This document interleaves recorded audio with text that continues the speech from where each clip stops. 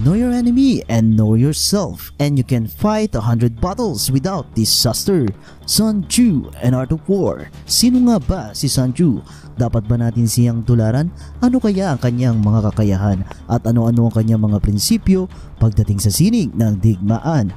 Welcome po sa kanya-kanyang kakayahan channel na nagsasabing kaya mo yan. Lahat naman ng bagay ay magiging simple lamang kung ito ay mapag-aaralan. Kung bago ka sa akin channel, pakilike naman at pakisubscribe. Mag-upload ako ng mga video patungkol sa mga taktika, pamamaraan at istorya ng mga taong may kakayahan na dapat nating malaman upang ito ay maidagdag sa ating syempre kaalaman.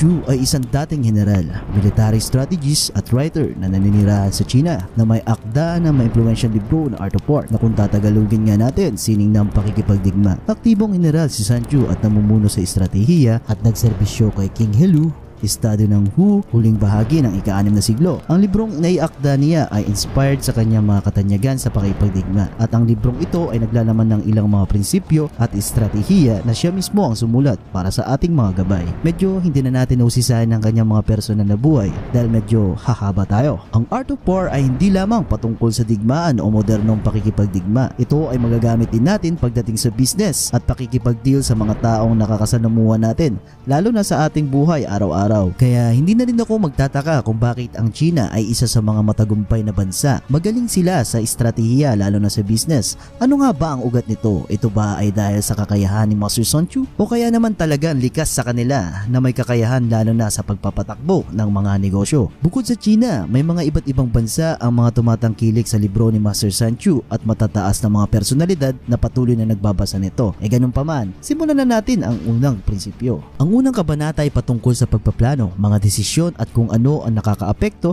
sa iyong mga isinasagawang desisyon. Kung nais natin magkaroon ng matagumpay ng mga pagpaplano, sa gayon dapat nating malaman kung paano tayo makaagawa ng mabuting pagpapasya at kung anong mga epekto nito.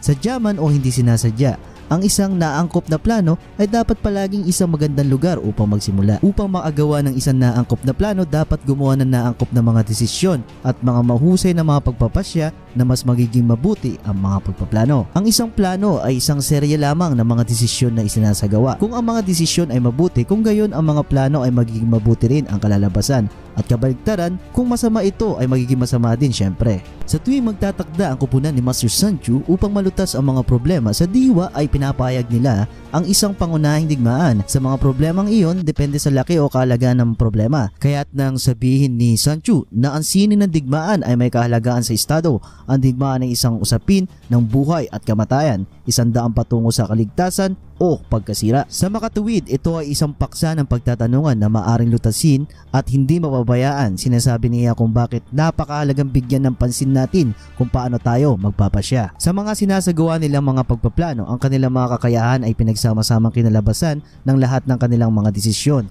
Pare-parehong mahalaga at tila hindi mahalaga, kapwa't mabuti at masama at may malay at walang malay. Sa madaling salita, masyado nakatuon ang ating mga pansin sa magiging outcome ng ating mga plano at nakalimutan nating suriin kung paano nangyari ang mga ito. Kaya mas mainam na gumawa ng tamang hakbang at mga tanong na pwedeng mangyari at di mangyayari. Isa na dito ang halimbawa, sino nga ba sa aking mga kasama ang may nakakahigit na pamamaraan at sino ang mga mahihina?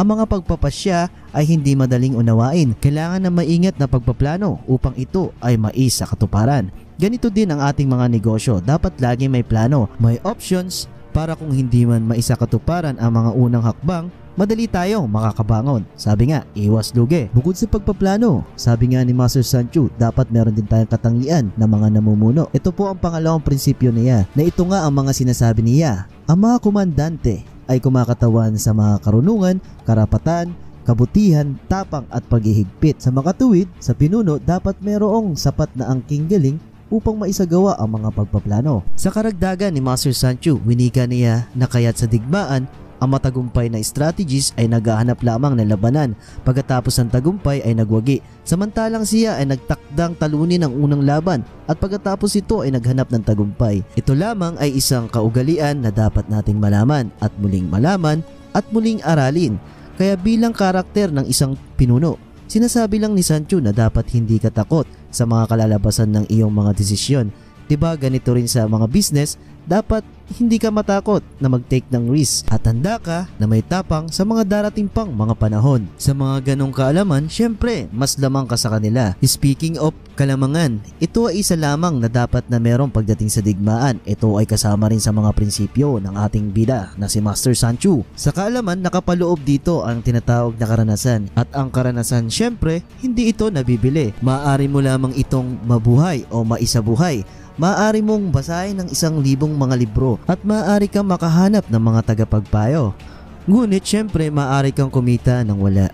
So ganun talaga ang buhay. Ang mga karanasang ito ay simpleng kaalaman hanggang sa mailagay mo ito sa iyong mga hakbang at pagkatapos at saka lamang ito magiging karanasan. Upang maging lubusang pamilyar sa anumang mga bagay ay nangangailangan ng oras lalo na upang lubos na maging pamilyar sa iyong sarili. Ang mga kalamangan ay isang bagay na makakapagturo sa iyo upang ma-achieve mo ang simple goal na iyong kupunan pamilya at kasama sa negosyo. Madami ng mga taong naging successful sa pagbasa ng libro ni Master Sanchu. Bago natin tapusin ang bidyong ito, isa lang ang aking masasabi, know your enemy and know yourself. Isa lamang mga taktika ng pagkilala sa iyong sariling lakas at kahinaan. Kung malalaman nating pareha sa nasabing kakayahan, maaari tayong manalo sa lahat ng mga bagay-bagay. Tulad na lang na masyado tayo naging confident sa ating sariling kakayahan pero hindi natin naaral ang mga advantage at disadvantage na maaaring mangyari at mangyayari pa. Minsan, dapat din nating suriin ang ating mga sariling kakayahan at huwag basta-bastang magtitiwala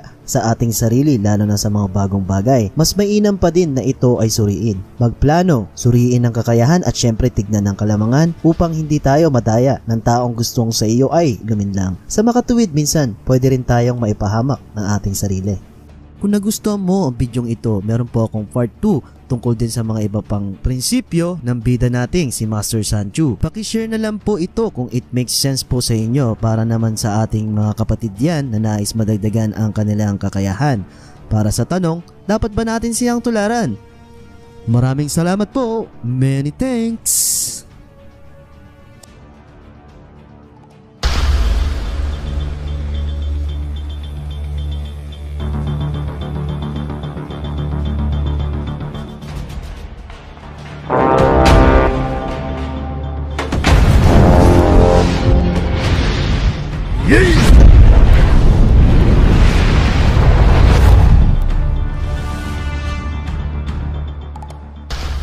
Know your enemy and know yourself, and you can fight a hundred battles without disaster. Sun Tzu and Art of War. Sino nga ba si Sun Tzu? Dapat ba natin siyang tularan? Ano kaya ang kanyang mga kakayahan? At ano-ano ang kanyang mga prinsipyo pagdating sa sining ng digmaan? Welcome po sa kanya-kanyang kakayahan channel na nagsasabing kaya mo yan. Lahat naman ng bagay ay magiging simple lamang kung ito ay mapag-aaralan. Kung bago ka sa akin channel, pakilike naman at pakisubscribe. Mag-upload ako ng mga bidyong patungkol sa mga taktika, pamamaraan at istorya ng mga taong may kakayahan na dapat nating malaman upang ito ay maidagdag sa ating syempre kaalaman.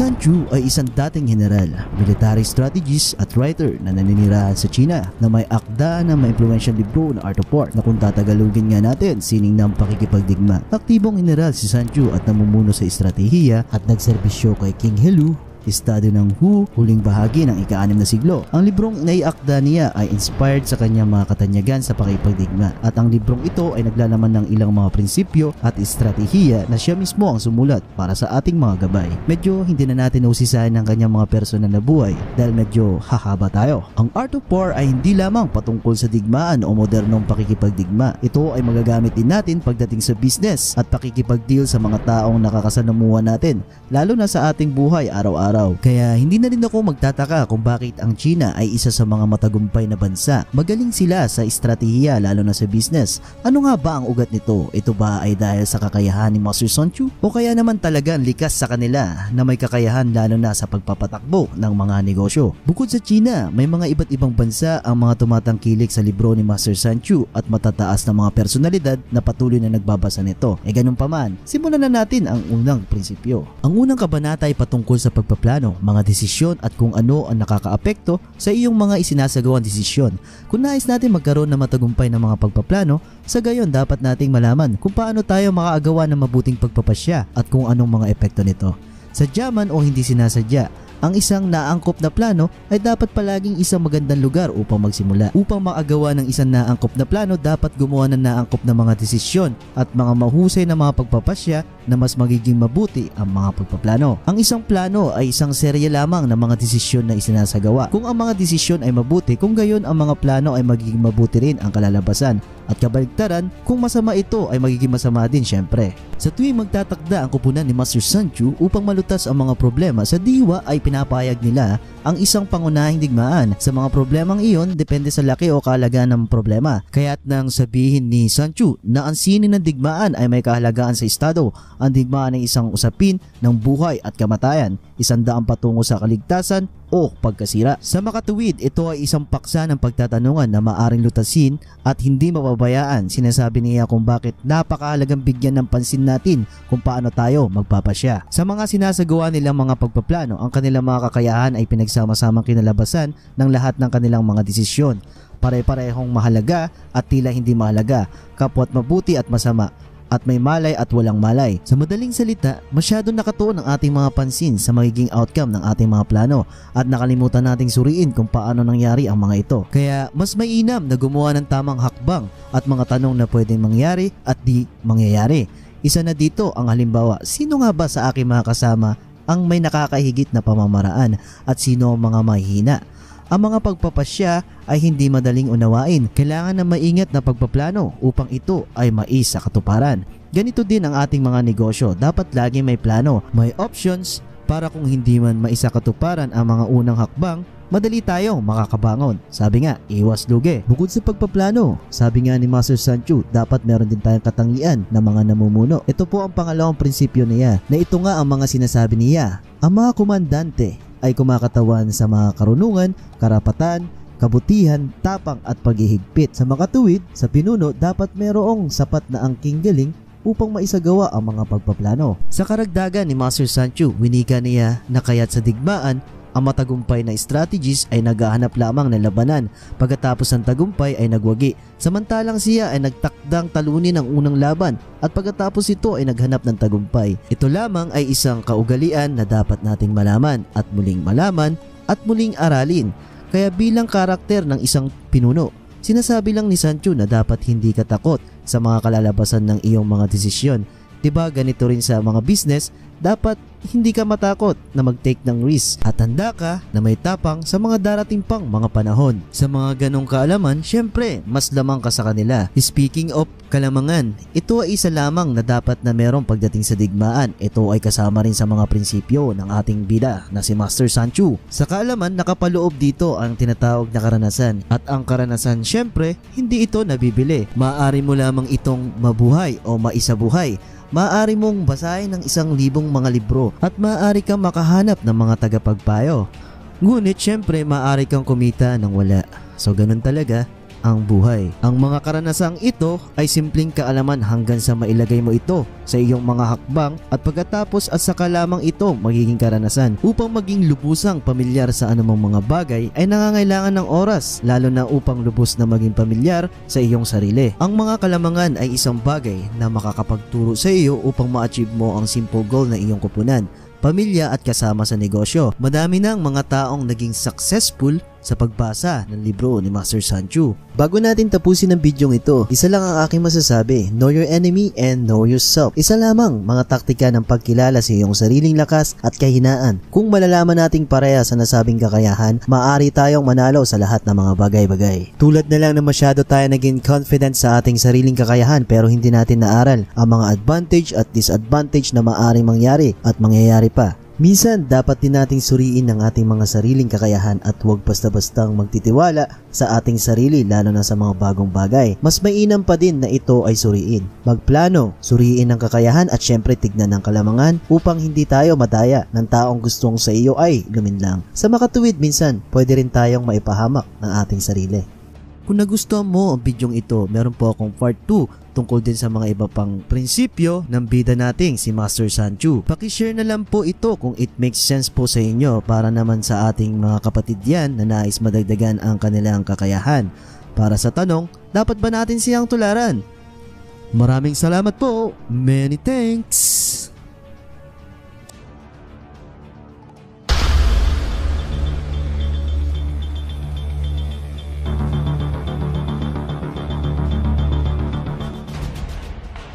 Thank.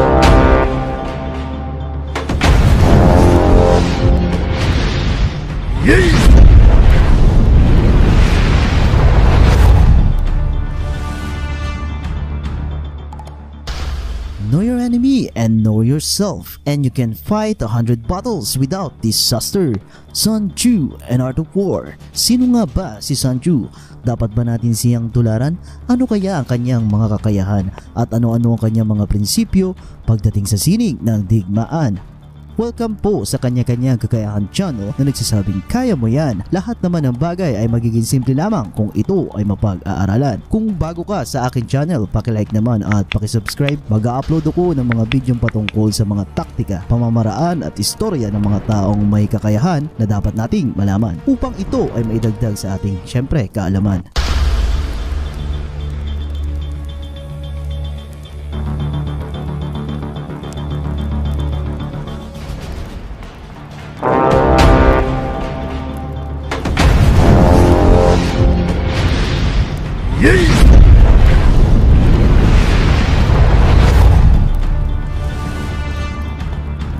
Tzu ay isang dating general, military strategist at writer na naninirahan sa China na may akda na may influential libro na Art of War na kung tatagalugin nga natin sining ng pakikipagdigma. Aktibong general si Sun Tzu at namumuno sa estratehiya at nagserbisyo kay King Helu estado ng Hu, huling bahagi ng ika-anim na siglo. Ang librong naiakda niya ay inspired sa kanyang mga katanyagan sa pakipagdigma at ang librong ito ay naglalaman ng ilang mga prinsipyo at estratehiya na siya mismo ang sumulat para sa ating mga gabay. Medyo hindi na natin nausisahan ng kanyang mga personal na buhay dahil medyo hahaba tayo. Ang Art of War ay hindi lamang patungkol sa digmaan o modernong pakikipagdigma. Ito ay magagamit din natin pagdating sa business at pakikipagdeal sa mga taong nakakasanamuha natin lalo na sa ating buhay araw-araw araw. Kaya hindi na rin ako magtataka kung bakit ang China ay isa sa mga matagumpay na bansa. Magaling sila sa estratehiya lalo na sa business. Ano nga ba ang ugat nito? Ito ba ay dahil sa kakayahan ni Master Sun Tzu? O kaya naman talagang likas sa kanila na may kakayahan lalo na sa pagpapatakbo ng mga negosyo? Bukod sa China, may mga iba't ibang bansa ang mga tumatangkilik sa libro ni Master Sun Tzu at matataas na mga personalidad na patuloy na nagbabasa nito. E ganun pa man, simulan na natin ang unang prinsipyo. Ang unang kabanata ay patungkol sa pagpapatakbo plano, mga desisyon at kung ano ang nakakaapekto sa iyong mga isinasagawang desisyon.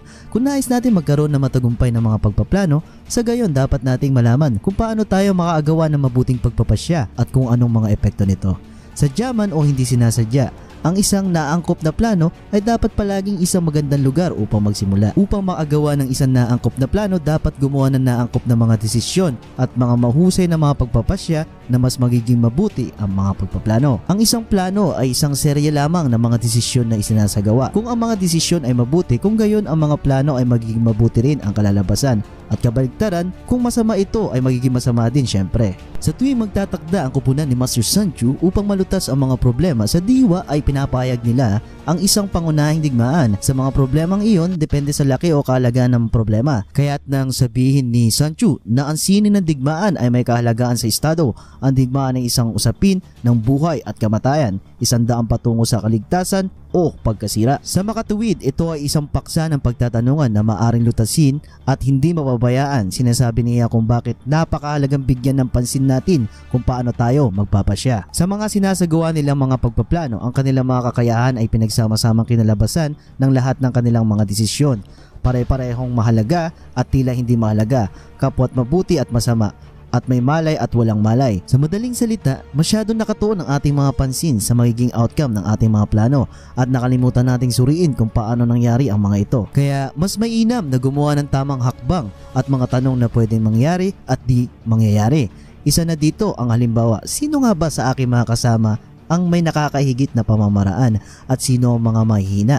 Ang mga pagpapasya ay hindi madaling unawain. Kailangan ng maingat na pagpaplano upang ito ay mais sa katuparan. Ganito din ang ating mga negosyo. Dapat lagi may plano, may options para kung hindi man maisa katuparan ang mga unang hakbang, madali tayong makakabangon. Sabi nga, iwas lugi. Bukod sa pagpaplano, sabi nga ni Master Sancho, dapat meron din tayong katangian na mga namumuno. Ito po ang pangalawang prinsipyo niya na ito nga ang mga sinasabi niya. Ang mga komandante ay kumakatawan sa mga karunungan, karapatan, kabutihan, tapang at paghihigpit. Sa makatuwid, sa pinuno dapat merong sapat na angking galing upang maisagawa ang mga pagpaplano. Sa karagdagan ni Master Sancho, winika niya na kaya't sa digmaan, ang matagumpay na strategies ay naghahanap lamang ng labanan pagkatapos ng tagumpay ay nagwagi. Samantalang siya ay nagtakdang talunin ang unang laban at pagkatapos ito ay naghanap ng tagumpay. Ito lamang ay isang kaugalian na dapat nating malaman at muling malaman at muling aralin. Kaya bilang karakter ng isang pinuno, sinasabi lang ni Sancho na dapat hindi ka takot sa mga kalalabasan ng iyong mga desisyon. 'Di ba ganito rin sa mga business, dapat hindi ka matakot na mag-take ng risk at handa ka na may tapang sa mga darating pang mga panahon. Sa mga ganong kaalaman, syempre, mas lamang ka sa kanila. Speaking of kalamangan, ito ay isa lamang na dapat na merong pagdating sa digmaan. Ito ay kasama rin sa mga prinsipyo ng ating bida na si Master Sanchu. Sa kaalaman, nakapaloob dito ang tinatawag na karanasan. At ang karanasan, syempre, hindi ito nabibili. Maaari mo lamang itong mabuhay o maisabuhay maaari mong basahin ng isang libong mga libro at maaari kang makahanap ng mga tagapagpayo. Ngunit syempre maaari kang kumita ng wala.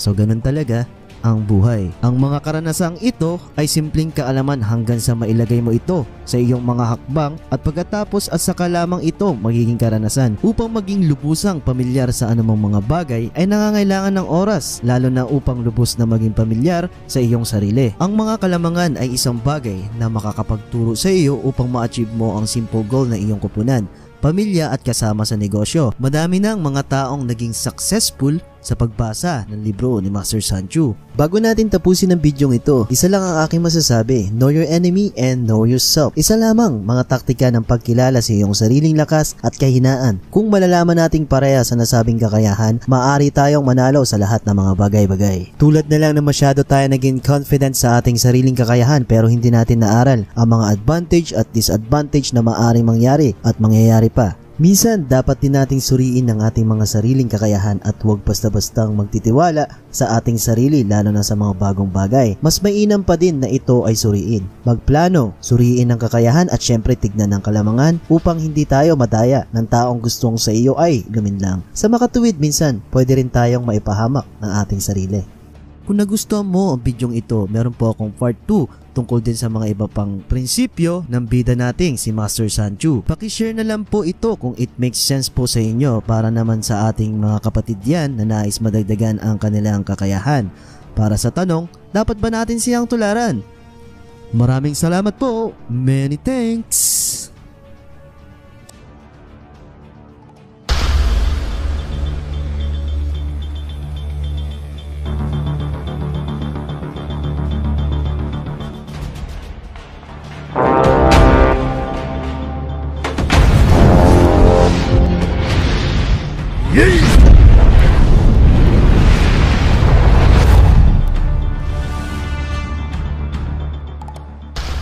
Know your enemy and know yourself, and you can fight a hundred battles without disaster. Sun Tzu and Art of War. Sino nga ba si Sun Tzu? Dapat ba natin siyang tularan?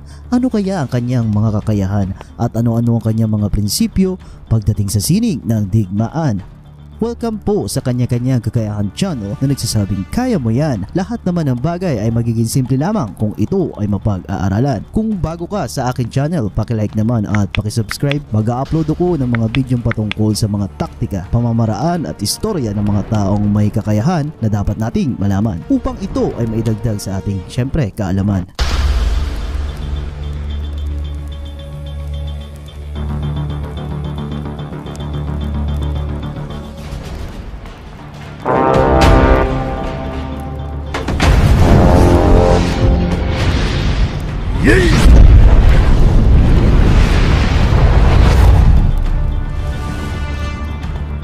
Si Sun Tzu ay isang dating general, military strategist at writer na naninirahan sa China na may akda na may influential libro na Art of War na kung tatagalugin nga natin sining ng pakikipagdigma. Aktibong general si Sun Tzu at namumuno sa estratehiya at nagserbisyo kay King Helu estado ng Hu, huling bahagi ng ika-anim na siglo. Ang librong naiakda niya ay inspired sa kanyang mga katanyagan sa pakipagdigma at ang librong ito ay naglalaman ng ilang mga prinsipyo at estratehiya na siya mismo ang sumulat para sa ating mga gabay. Medyo hindi na natin usisahin ang kanyang mga personal na buhay dahil medyo hahaba tayo. Ang Art of War ay hindi lamang patungkol sa digmaan o modernong pakikipagdigma. Ito ay magagamit din natin pagdating sa business at pakikipagdeal sa mga taong nakakasanamuha natin lalo na sa ating buhay araw-araw araw. Kaya hindi na rin ako magtataka kung bakit ang China ay isa sa mga matagumpay na bansa. Magaling sila sa estratehiya lalo na sa business. Ano nga ba ang ugat nito? Ito ba ay dahil sa kakayahan ni Master Sun Chu? O kaya naman talagang likas sa kanila na may kakayahan lalo na sa pagpapatakbo ng mga negosyo? Bukod sa China, may mga iba't ibang bansa ang mga tumatangkilik sa libro ni Master Sun Chu at matataas na mga personalidad na patuloy na nagbabasa nito. E ganun pa man, simulan na natin ang unang prinsipyo. Ang unang kabanata ay patungkol sa pagpapatakbo plano, mga desisyon at kung ano ang nakakaapekto sa iyong mga isinasagawang desisyon.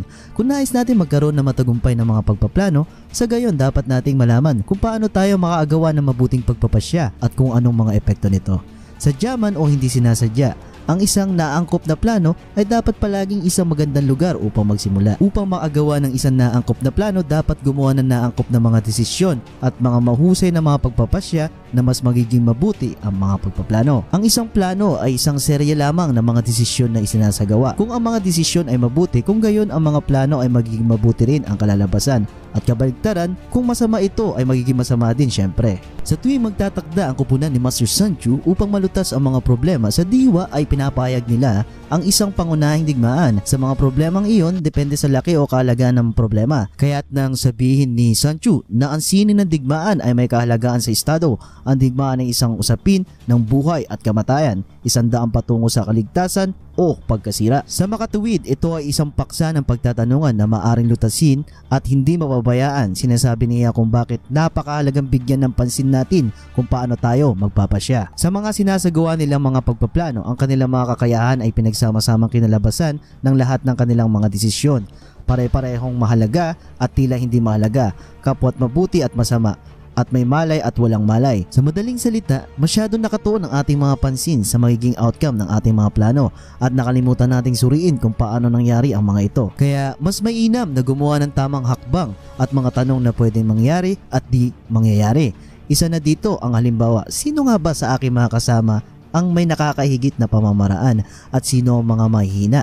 Ang mga pagpapasya ay hindi madaling unawain. Kailangan ng maingat na pagpaplano upang ito ay mais katuparan. Ganito din ang ating mga negosyo. Dapat lagi may plano, may options para kung hindi man maisakatuparan ang mga unang hakbang, madali tayong makakabangon. Sabi nga, iwas lugi. Bukod sa pagpaplano, sabi nga ni Master Sancho, dapat meron din tayong katangian na mga namumuno. Ito po ang pangalawang prinsipyo niya, na ito nga ang mga sinasabi niya. Ang mga komandante ay kumakatawan sa mga karunungan, karapatan, kabutihan, tapang at paghihigpit. Sa makatuwid, sa pinuno dapat merong sapat na angking galing upang maisagawa ang mga pagpaplano. Sa karagdagan ni Master Sancho, winika niya na kaya't sa digmaan ang matagumpay na strategies ay naghahanap lamang ng labanan pagkatapos ng tagumpay ay nagwagi. Samantalang siya ay nagtakdang talunin ang unang laban at pagkatapos ito ay naghanap ng tagumpay. Ito lamang ay isang kaugalian na dapat nating malaman at muling malaman at muling aralin. Kaya bilang karakter ng isang pinuno, sinasabi lang ni Sancho na dapat hindi ka takot sa mga kalalabasan ng iyong mga desisyon. 'Di ba ganito rin sa mga business, dapat hindi ka matakot na mag-take ng risk at handa ka na may tapang sa mga darating pang mga panahon. Sa mga ganong kaalaman, syempre, mas lamang ka sa kanila. Speaking of kalamangan, ito ay isa lamang na dapat na merong pagdating sa digmaan. Ito ay kasama rin sa mga prinsipyo ng ating bida na si Master Sanchu. Sa kaalaman, nakapaloob dito ang tinatawag na karanasan. At ang karanasan, syempre, hindi ito nabibili. Maaari mo lamang itong mabuhay o maisabuhay maaari mong basahin ng isang libong mga libro at maaari kang makahanap ng mga tagapagpayo. Ngunit syempre maaari kang kumita ng wala. So ganun talaga, ang buhay. Ang mga karanasang ito ay simpleng kaalaman hanggang sa mailagay mo ito sa iyong mga hakbang at pagkatapos at saka lamang ito magiging karanasan. Upang maging lubusang pamilyar sa anumang mga bagay ay nangangailangan ng oras lalo na upang lubos na maging pamilyar sa iyong sarili. Ang mga kalamangan ay isang bagay na makakapagturo sa iyo upang ma-achieve mo ang simple goal na iyong kupunan pamilya at kasama sa negosyo. Madami ng mga taong naging successful sa pagbasa ng libro ni Master Sanchu. Bago natin tapusin ang bidyong ito, isa lang ang aking masasabi, know your enemy and know yourself. Isa lamang mga taktika ng pagkilala sa iyong sariling lakas at kahinaan. Kung malalaman nating pareha sa nasabing kakayahan, maaari tayong manalo sa lahat ng mga bagay-bagay. Tulad na lang na masyado tayo naging confident sa ating sariling kakayahan pero hindi natin naaral ang mga advantage at disadvantage na maaaring mangyari at mangyayari pa. Minsan, dapat din nating suriin ang ating mga sariling kakayahan at huwag basta-bastang magtitiwala sa ating sarili lalo na sa mga bagong bagay. Mas mainam pa din na ito ay suriin. Magplano, suriin ang kakayahan at syempre tignan ang kalamangan upang hindi tayo madaya ng taong gustong sa iyo ay luminlang. Sa makatuwid minsan, pwede rin tayong maipahamak ng ating sarili. Kung nagustuhan mo ang bidyong ito, meron po akong part 2 tungkol din sa mga iba pang prinsipyo ng bida nating si Master Sanchu. Pakishare na lang po ito kung it makes sense po sa inyo para naman sa ating mga kapatid yan na nais madagdagan ang kanilang kakayahan. Para sa tanong, dapat ba natin siyang tularan? Maraming salamat po. Many thanks.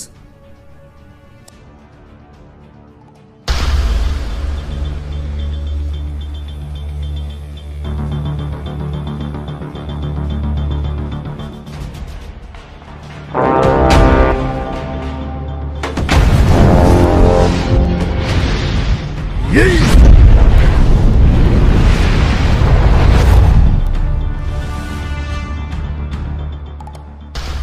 Know your enemy and know yourself, and you can fight a hundred battles without disaster. Sun Tzu and Art of War. Sino nga ba si Sun Tzu? Dapat ba natin siyang tularan? Ano kaya ang kanyang mga kakayahan? At ano-ano ang kanyang mga prinsipyo pagdating sa sining ng digmaan? Welcome po sa kanya-kanyang kakayahan channel na nagsasabing kaya mo yan. Lahat naman ng bagay ay magiging simple lamang kung ito ay mapag-aaralan. Kung bago ka sa akin channel, pakilike naman at pakisubscribe. Mag-upload ako ng mga bidyong patungkol sa mga taktika, pamamaraan at istorya ng mga taong may kakayahan na dapat nating malaman upang ito ay maidagdag sa ating syempre kaalaman.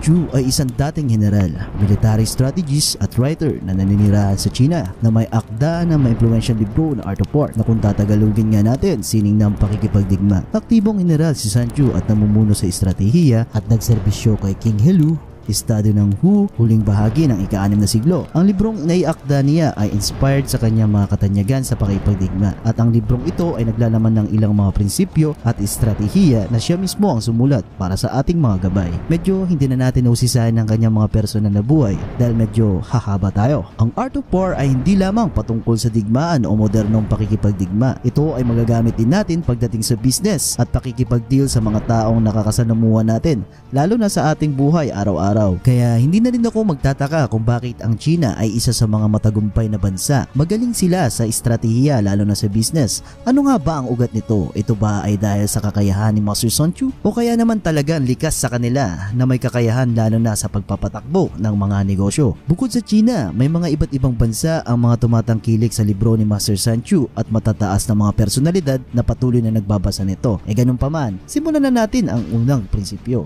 Ang unang kabanata ay patungkol sa pagpaplano plano, mga desisyon at kung ano ang nakakaapekto sa iyong mga isinasagawang desisyon. Kung nais natin magkaroon ng matagumpay ng mga pagpaplano, sa gayon dapat nating malaman kung paano tayo makagawa ng mabuting pagpapasya at kung anong mga epekto nito.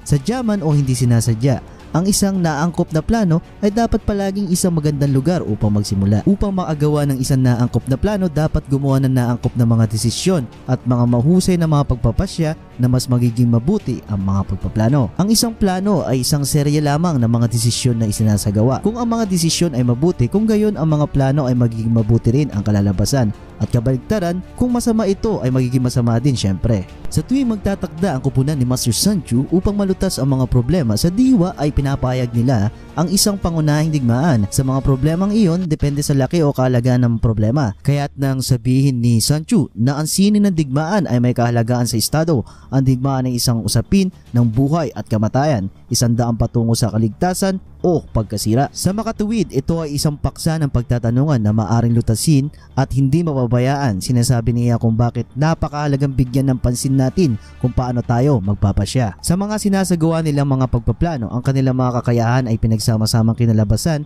ng lahat ng kanilang mga desisyon. Pare-parehong mahalaga at tila hindi mahalaga, kapwa't mabuti at masama at may malay at walang malay. Sa madaling salita, masyado nakatuon ang ating mga pansin sa magiging outcome ng ating mga plano at nakalimutan nating suriin kung paano nangyari ang mga ito. Kaya mas mainam na gumawa ng tamang hakbang at mga tanong na pwedeng mangyari at di mangyayari. Isa na dito ang halimbawa, sino nga ba sa aking mga kasama ang may nakakahigit na pamamaraan at sino ang mga mahihina? Ang mga pagpapasya ay hindi madaling unawain. Kailangan ng maingat na pagpaplano upang ito ay mais sa katuparan. Ganito din ang ating mga negosyo. Dapat lagi may plano, may options para kung hindi man maisa katuparan ang mga unang hakbang, madali tayong makakabangon. Sabi nga, iwas lugi. Bukod sa pagpaplano, sabi nga ni Master Sanchu, dapat meron din tayong katangian ng mga namumuno. Ito po ang pangalawang prinsipyo niya, na ito nga ang mga sinasabi niya. Ang mga komandante ay kumakatawan sa mga karunungan, karapatan, kabutihan, tapang at paghihigpit. Sa makatuwid, sa pinuno dapat merong sapat na angking galing upang maisagawa ang mga pagpaplano. Sa karagdagan ni Master Sancho, winika niya na kaya't sa digmaan ang matagumpay na strategies ay naghahanap lamang ng labanan pagkatapos ng tagumpay ay nagwagi. Samantalang siya ay nagtakdang talunin ang unang laban at pagkatapos ito ay naghanap ng tagumpay. Ito lamang ay isang kaugalian na dapat nating malaman at muling malaman at muling aralin. Kaya bilang karakter ng isang pinuno, sinasabi lang ni Sancho na dapat hindi ka takot sa mga kalalabasan ng iyong mga desisyon. 'Di ba ganito rin sa mga business, dapat hindi ka matakot na mag-take ng risk at handa ka na may tapang sa mga darating pang mga panahon. Sa mga ganong kaalaman, syempre, mas lamang ka sa kanila. Speaking of kalamangan, ito ay isa lamang na dapat na merong pagdating sa digmaan. Ito ay kasama rin sa mga prinsipyo ng ating bida na si Master Sanchu. Sa kaalaman, nakapaloob dito ang tinatawag na karanasan. At ang karanasan, syempre, hindi ito nabibili. Maaari mo lamang itong mabuhay o maisabuhay maaari mong basahin ng isang libong mga libro at maaari kang makahanap ng mga tagapagpayo. Ngunit syempre maaari kang kumita ng wala. So ganun talaga ang buhay. Ang mga karanasang ito ay simpleng kaalaman hanggang sa mailagay mo ito sa iyong mga hakbang at pagkatapos at saka lamang ito magiging karanasan. Upang maging lubusang pamilyar sa anumang mga bagay ay nangangailangan ng oras lalo na upang lubos na maging pamilyar sa iyong sarili. Ang mga kalamangan ay isang bagay na makakapagturo sa iyo upang ma-achieve mo ang simple goal na iyong kupunan pamilya at kasama sa negosyo. Madami ng mga taong naging successful sa pagbasa ng libro ni Master Sanchu. Bago natin tapusin ang bidyong ito, isa lang ang aking masasabi, know your enemy and know yourself. Isa lamang mga taktika ng pagkilala sa iyong sariling lakas at kahinaan. Kung malalaman nating pareha sa nasabing kakayahan, maaari tayong manalo sa lahat ng mga bagay-bagay. Tulad na lang na masyado tayo naging confident sa ating sariling kakayahan pero hindi natin naaral ang mga advantage at disadvantage na maaaring mangyari at mangyayari pa. Minsan, dapat din nating suriin ang ating mga sariling kakayahan at huwag basta-bastang magtitiwala sa ating sarili lalo na sa mga bagong bagay. Mas mainam pa din na ito ay suriin. Magplano, suriin ang kakayahan at syempre tignan ang kalamangan upang hindi tayo madaya ng taong gustong sa iyo ay luminlang. Sa makatuwid minsan, pwede rin tayong maipahamak ng ating sarili. Kung nagustuhan mo ang bidyong ito, meron po akong part 2 tungkol din sa mga iba pang prinsipyo ng bida nating si Master Sanchu. Pakishare na lang po ito kung it makes sense po sa inyo para naman sa ating mga kapatid yan na nais madagdagan ang kanilang kakayahan. Para sa tanong, dapat ba natin siyang tularan? Maraming salamat po. Many thanks.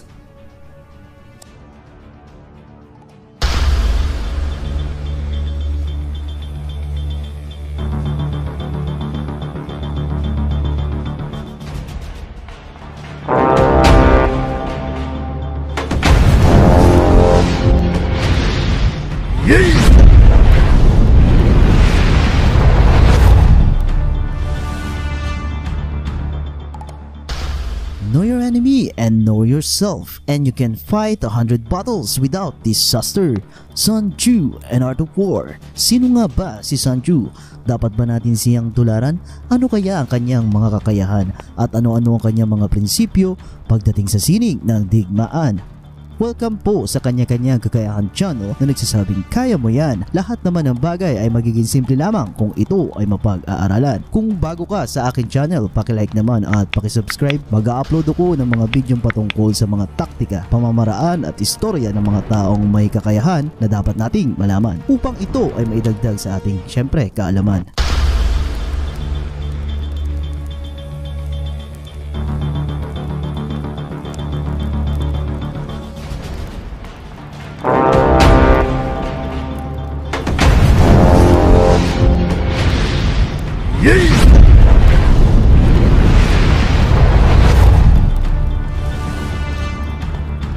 Sun Tzu ay isang dating general, military strategist at writer na naninirahan sa China na may akda na may influential libro na Art of War na kung tatagalugin nga natin sining ng pakikipagdigma. Aktibong general si Sun Tzu at namumuno sa estratehiya at nagserbisyo kay King Helu estado ng Hu, huling bahagi ng ika-anim na siglo. Ang librong naiakda niya ay inspired sa kanyang mga katanyagan sa pakipagdigma at ang librong ito ay naglalaman ng ilang mga prinsipyo at estratehiya na siya mismo ang sumulat para sa ating mga gabay. Medyo hindi na natin usisahan ng kanyang mga personal na buhay dahil medyo hahaba tayo. Ang Art of War ay hindi lamang patungkol sa digmaan o modernong pakikipagdigma. Ito ay magagamit din natin pagdating sa business at pakikipagdeal sa mga taong nakakasanamuha natin lalo na sa ating buhay araw-araw araw. Kaya hindi na rin ako magtataka kung bakit ang China ay isa sa mga matagumpay na bansa. Magaling sila sa estratehiya lalo na sa business. Ano nga ba ang ugat nito? Ito ba ay dahil sa kakayahan ni Master Sun Tzu? O kaya naman talagang likas sa kanila na may kakayahan lalo na sa pagpapatakbo ng mga negosyo? Bukod sa China, may mga iba't ibang bansa ang mga tumatangkilik sa libro ni Master Sun Tzu at matataas na mga personalidad na patuloy na nagbabasa nito. E ganun pa man, simulan na natin ang unang prinsipyo. Ang unang kabanata ay patungkol sa pagpapatakbo plano, mga desisyon at kung ano ang nakakaapekto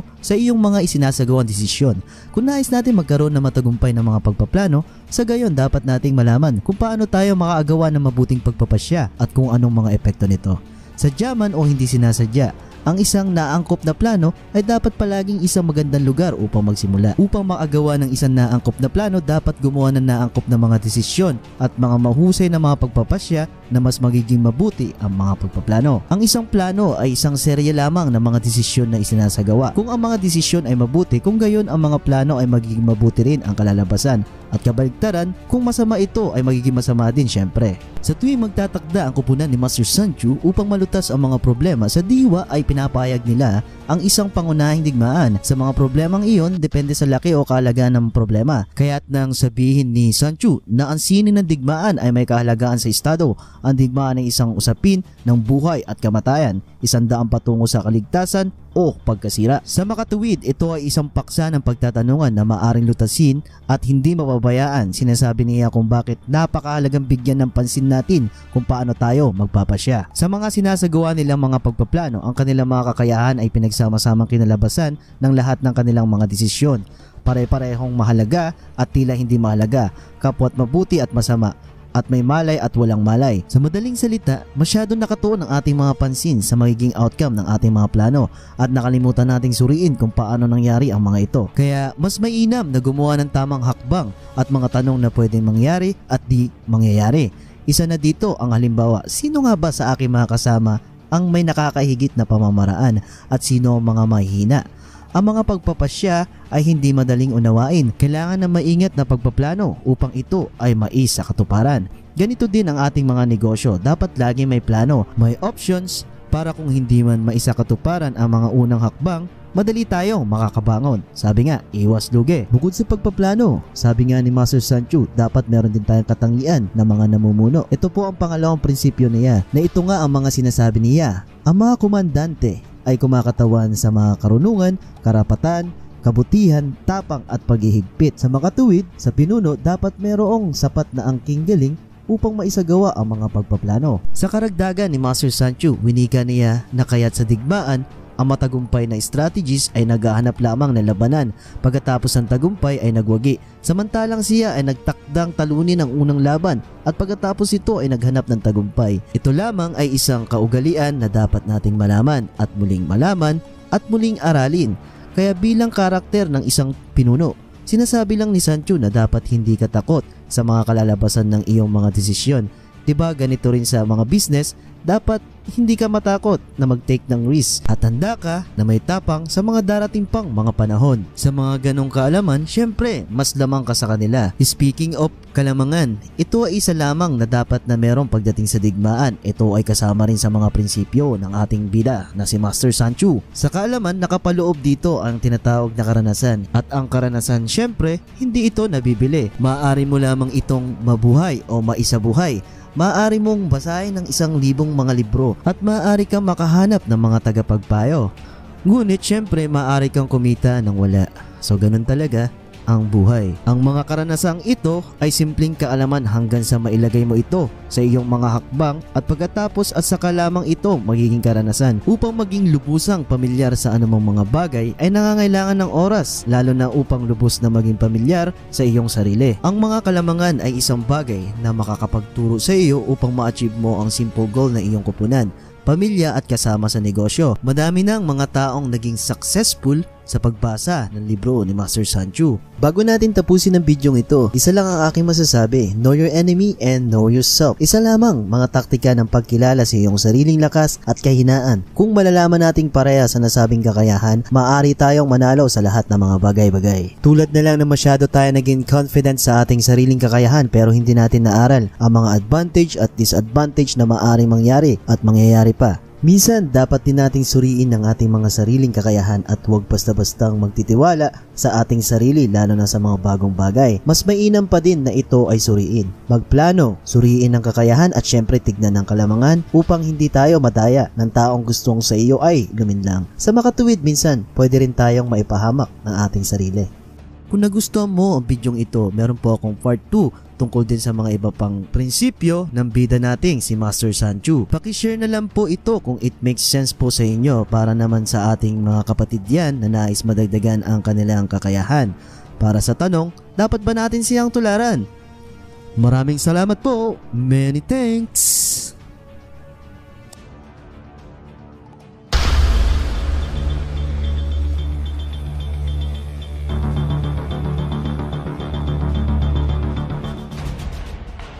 Know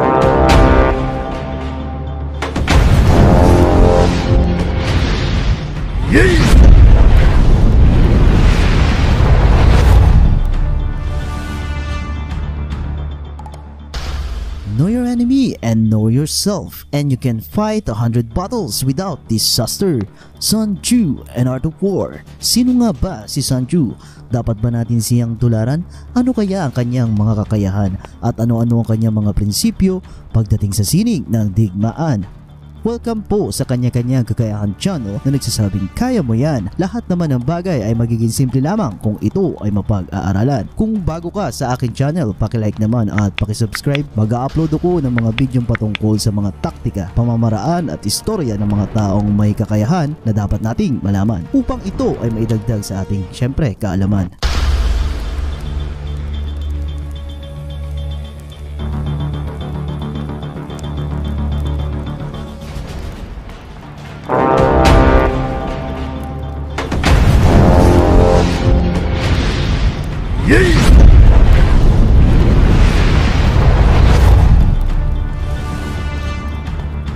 Si Sanchu ay isang dating general, military strategist at writer na naninirahan sa China na may akda ng maimpluwensyang libro na Art of War na kung tatagalugin nga natin sining ng pakikipagdigma. Aktibong general si Sanchu at namumuno sa estratehiya at nagserbisyo kay King Helu estado ng Hu, huling bahagi ng ika-anim na siglo. Ang librong naiakda niya ay inspired sa kanyang mga katanyagan sa pakipagdigma at ang librong ito ay naglalaman ng ilang mga prinsipyo at estratehiya na siya mismo ang sumulat para sa ating mga gabay. Medyo hindi na natin usisahin ang kanyang mga personal na buhay dahil medyo hahaba tayo. Ang Art of War ay hindi lamang patungkol sa digmaan o modernong pakikipagdigma. Ito ay magagamit din natin pagdating sa business at pakikipagdeal sa mga taong nakakasanamuhan natin lalo na sa ating buhay araw-araw araw. Kaya hindi na rin ako magtataka kung bakit ang China ay isa sa mga matagumpay na bansa. Magaling sila sa estratehiya lalo na sa business. Ano nga ba ang ugat nito? Ito ba ay dahil sa kakayahan ni Master Sun Chu? O kaya naman talagang likas sa kanila na may kakayahan lalo na sa pagpapatakbo ng mga negosyo? Bukod sa China, may mga iba't ibang bansa ang mga tumatangkilik sa libro ni Master Sun Chu at matataas na mga personalidad na patuloy na nagbabasa nito. E ganun pa man, simulan na natin ang unang prinsipyo.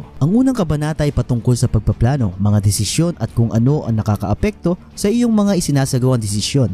Kung nais natin magkaroon ng matagumpay ng mga pagpaplano, sa gayon dapat nating malaman kung paano tayo makaagawa ng mabuting pagpapasya at kung anong mga epekto nito. Sadya man o hindi sinasadya, ang isang naangkop na plano ay dapat palaging isang magandang lugar upang magsimula. Upang makagawa ng isang naangkop na plano, dapat gumawa ng naangkop na mga desisyon at mga mahusay na mga pagpapasya na mas magiging mabuti ang mga pagpaplano. Ang isang plano ay isang serye lamang ng mga desisyon na isinasagawa. Kung ang mga desisyon ay mabuti, kung gayon ang mga plano ay magiging mabuti rin ang kalalabasan. At kabaligtaran, kung masama ito ay magiging masama din syempre. Sa tuwing magtatakda ang kupunan ni Master Sanchu upang malutas ang mga problema sa diwa ay pinapayag nila ang isang pangunahing digmaan. Sa mga problemang iyon, depende sa laki o kahalagaan ng problema. Kaya't nang sabihin ni Sanchu na ang sini ng digmaan ay may kahalagaan sa estado, ang digmaan ay isang usapin ng buhay at kamatayan, isang daang patungo sa kaligtasan o pagkasira. Sa makatuwid, ito ay isang paksa ng pagtatanungan na maaring lutasin at hindi mababayaan. Sinasabi niya kung bakit napakahalagang bigyan ng pansin natin kung paano tayo magpapasya. Sa mga sinasagawa nilang mga pagpaplano, ang kanilang mga kakayahan ay pinagsama-samang kinalabasan ng lahat ng kanilang mga desisyon. Pare-parehong mahalaga at tila hindi mahalaga, kapwa't mabuti at masama at may malay at walang malay. Sa madaling salita, masyado nakatuon ang ating mga pansin sa magiging outcome ng ating mga plano at nakalimutan nating suriin kung paano nangyari ang mga ito. Kaya mas mainam na gumawa ng tamang hakbang at mga tanong na pwedeng mangyari at di mangyayari. Isa na dito ang halimbawa, sino nga ba sa aking mga kasama ang may nakakahigit na pamamaraan at sino ang mga mahihina? Ang mga pagpapasya ay hindi madaling unawain. Kailangan ng maingat na pagpaplano upang ito ay mais sa katuparan. Ganito din ang ating mga negosyo. Dapat lagi may plano, may options para kung hindi man maisa katuparan ang mga unang hakbang, madali tayong makakabangon. Sabi nga, iwas lugi. Bukod sa pagpaplano, sabi nga ni Master Sanchu, dapat meron din tayong katangian ng mga namumuno. Ito po ang pangalawang prinsipyo niya, na ito nga ang mga sinasabi niya. Ang mga komandante ay kumakatawan sa mga karunungan, karapatan, kabutihan, tapang at paghihigpit. Sa makatuwid, sa pinuno dapat merong sapat na angking galing upang maisagawa ang mga pagpaplano. Sa karagdagan ni Master Sancho, winika niya na kaya't sa digmaan ang matagumpay na strategies ay naghahanap lamang ng labanan pagkatapos ng tagumpay ay nagwagi. Samantalang siya ay nagtakdang talunin ang unang laban at pagkatapos ito ay naghanap ng tagumpay. Ito lamang ay isang kaugalian na dapat nating malaman at muling malaman at muling aralin. Kaya bilang karakter ng isang pinuno, sinasabi lang ni Sancho na dapat hindi ka takot sa mga kalalabasan ng iyong mga desisyon.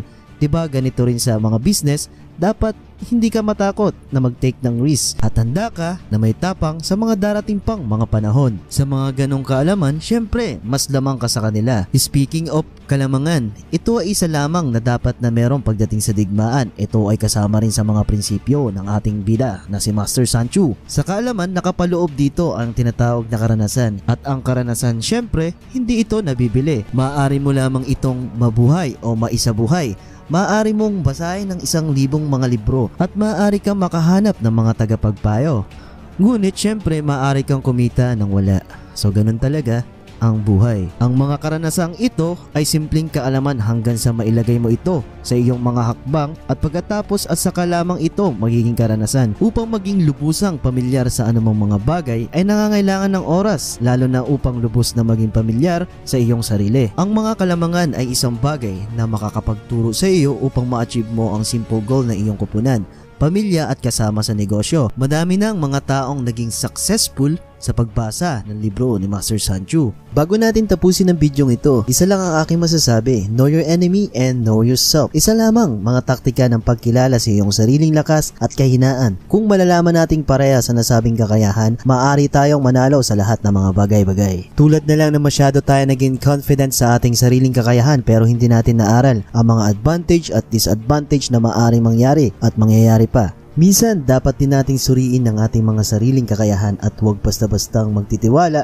sa ating sarili lalo na sa mga bagong bagay. Mas mainam pa din na ito ay suriin. Magplano, suriin ang kakayahan at syempre tignan ang kalamangan upang hindi tayo madaya ng taong gustong sa iyo ay luminlang. Sa makatuwid minsan, pwede rin tayong maipahamak ng ating sarili. Kung nagustuhan mo ang bidyong ito, meron po akong part 2 tungkol din sa mga iba pang prinsipyo ng bida nating si Master Sanchu. Pakishare na lang po ito kung it makes sense po sa inyo para naman sa ating mga kapatid yan na nais madagdagan ang kanilang kakayahan. Para sa tanong, dapat ba natin siyang tularan? Maraming salamat po. Many thanks.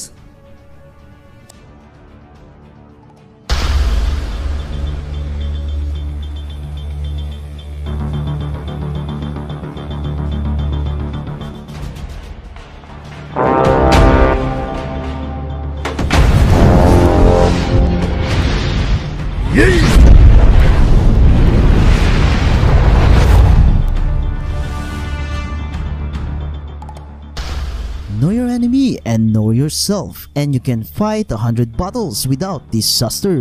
Sun Tzu and Art of War. Sino nga ba si Sun Tzu? Dapat ba natin siyang tularan? Ano kaya ang kanyang mga kakayahan at ano-ano ang kanyang mga prinsipyo pagdating sa sining ng digmaan?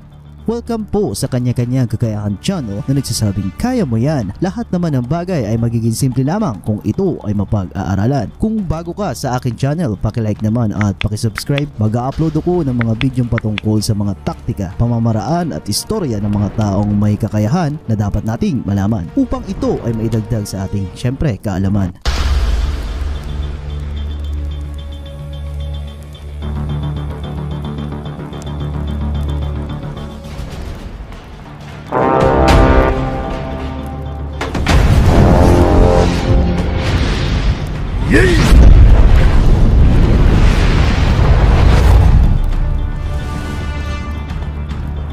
Tzu ay isang dating general, military strategist at writer na naninirahan sa China na may akda na may influential libro na Art of War na kung tatagalugin nga natin sining ng pakikipagdigma. Aktibong general si Sun Tzu at namumuno sa estratehiya at nagserbisyo kay King Helu estado ng Hu, huling bahagi ng ika-anim na siglo. Ang librong naiakda niya ay inspired sa kanyang mga katanyagan sa pakipagdigma at ang librong ito ay naglalaman ng ilang mga prinsipyo at estratehiya na siya mismo ang sumulat para sa ating mga gabay. Medyo hindi na natin usisahin ang kanyang mga personal na buhay dahil medyo hahaba tayo. Ang Art of War ay hindi lamang patungkol sa digmaan o modernong pakikipagdigma. Ito ay magagamit din natin pagdating sa business at pakikipagdeal sa mga taong nakakasanamuha natin lalo na sa ating buhay araw-araw araw. Kaya hindi na rin ako magtataka kung bakit ang China ay isa sa mga matagumpay na bansa. Magaling sila sa estratehiya lalo na sa business. Ano nga ba ang ugat nito? Ito ba ay dahil sa kakayahan ni Master Sun Tzu? O kaya naman talagang likas sa kanila na may kakayahan lalo na sa pagpapatakbo ng mga negosyo? Bukod sa China, may mga iba't ibang bansa ang mga tumatangkilik sa libro ni Master Sun Tzu at matataas na mga personalidad na patuloy na nagbabasa nito. E ganun pa man, simulan na natin ang unang prinsipyo. Ang unang kabanata ay patungkol sa pagpapatakbo plano, mga desisyon at kung ano ang nakakaapekto sa iyong mga isinasagawang desisyon.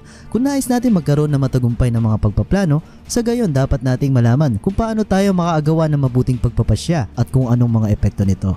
Sadya man o hindi sinasadya, ang isang naangkop na plano ay dapat palaging isang magandang lugar upang magsimula. Upang makagawa ng isang naangkop na plano, dapat gumawa ng naangkop na mga desisyon at mga mahusay na mga pagpapasya na mas magiging mabuti ang mga pagpaplano. Ang isang plano ay isang serya lamang ng mga desisyon na isinasagawa. Kung ang mga desisyon ay mabuti, kung gayon ang mga plano ay magiging mabuti rin ang kalalabasan. At kabaligtaran, kung masama ito ay magiging masama din syempre. Sa tuwing magtatakda ang kupunan ni Master Sanchu upang malutas ang mga problema sa diwa ay pinapayag nila ang isang pangunahing digmaan. Sa mga problemang iyon, depende sa laki o kahalagaan ng problema. Kaya't nang sabihin ni Sanchu na ang sinin ng digmaan ay may kahalagaan sa estado, ang digmaan ay isang usapin ng buhay at kamatayan, isang daang patungo sa kaligtasan o pagkasira. Sa makatuwid, ito ay isang paksa ng pagtatanungan na maaring lutasin at hindi mapabayaan. Sinasabi niya kung bakit napakahalagang bigyan ng pansin natin kung paano tayo magpapasya. Sa mga sinasagawa nilang mga pagpaplano, ang kanilang mga kakayahan ay pinagsama-samang kinalabasan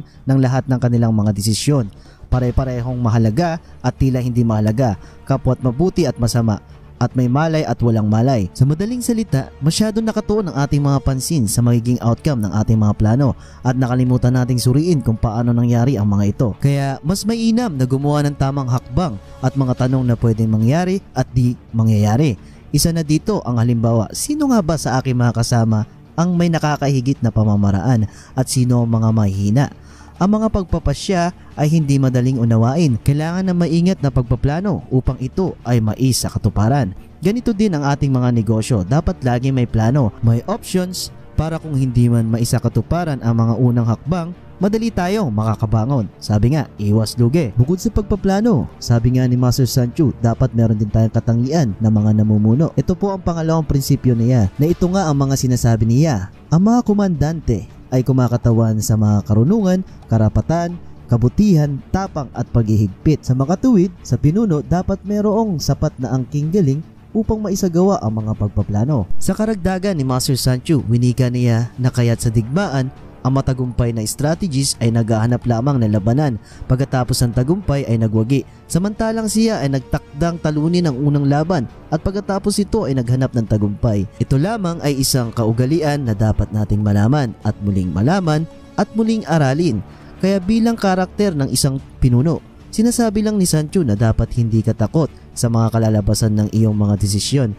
'Di ba ganito rin sa mga business, dapat hindi ka matakot na mag-take ng risk at handa ka na may tapang sa mga darating pang mga panahon. Sa mga ganong kaalaman, syempre, mas lamang ka sa kanila. Speaking of kalamangan, ito ay isa lamang na dapat na merong pagdating sa digmaan. Ito ay kasama rin sa mga prinsipyo ng ating bida na si Master Sanchu. Sa kaalaman, nakapaloob dito ang tinatawag na karanasan. At ang karanasan, syempre, hindi ito nabibili. Maaari mo lamang itong mabuhay o maisabuhay maaari mong basahin ng isang libong mga libro at maaari kang makahanap ng mga tagapagpayo.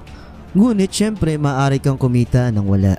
So ganun talaga ang buhay. Ang mga karanasang ito ay simpleng kaalaman hanggang sa mailagay mo ito sa iyong mga hakbang at pagkatapos at saka lamang ito magiging karanasan. Upang maging lubusang pamilyar sa anumang mga bagay ay nangangailangan ng oras lalo na upang lubos na maging pamilyar sa iyong sarili. Ang mga kalamangan ay isang bagay na makakapagturo sa iyo upang ma-achieve mo ang simple goal na iyong kupunan pamilya at kasama sa negosyo. Madami ng mga taong naging successful sa pagbasa ng libro ni Master Sanchu. Bago natin tapusin ang bidyong ito, isa lang ang aking masasabi, know your enemy and know yourself. Isa lamang mga taktika ng pagkilala sa iyong sariling lakas at kahinaan. Kung malalaman nating pareha sa nasabing kakayahan, maaari tayong manalo sa lahat ng mga bagay-bagay. Tulad na lang na masyado tayo naging confident sa ating sariling kakayahan pero hindi natin naaral ang mga advantage at disadvantage na maaaring mangyari at mangyayari pa. Minsan, dapat din nating suriin ang ating mga sariling kakayahan at huwag basta-bastang magtitiwala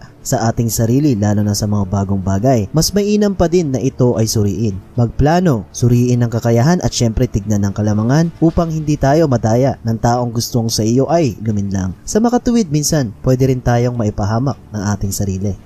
Kung nagustuhan mo ang bidyong ito, meron po akong part 2 tungkol din sa mga iba pang prinsipyo ng bida nating si Master Sanchu. Pakishare na lang po ito kung it makes sense po sa inyo para naman sa ating mga kapatid yan na nais madagdagan ang kanilang kakayahan. Para sa tanong, dapat ba natin siyang tularan? Maraming salamat po. Many thanks.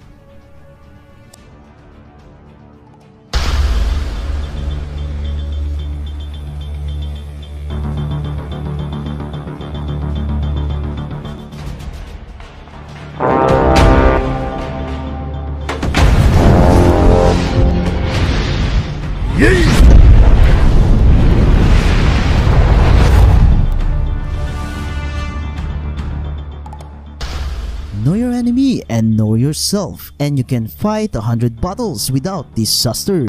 Sun Tzu and Art of War. Sino nga ba si Sun Tzu? Dapat ba natin siyang tularan? Ano kaya ang kanyang mga kakayahan? At ano-ano ang kanyang mga prinsipyo pagdating sa sining ng digmaan? Welcome po sa kanya-kanyang kakayahan channel na nagsasabing kaya mo yan. Lahat naman ng bagay ay magiging simple lamang kung ito ay mapag-aaralan. Kung bago ka sa aking channel, pakilike naman at pakisubscribe. Mag-upload ako ng mga bidyong patungkol sa mga taktika, pamamaraan at istorya ng mga taong may kakayahan na dapat nating malaman upang ito ay maidagdag sa ating syempre kaalaman.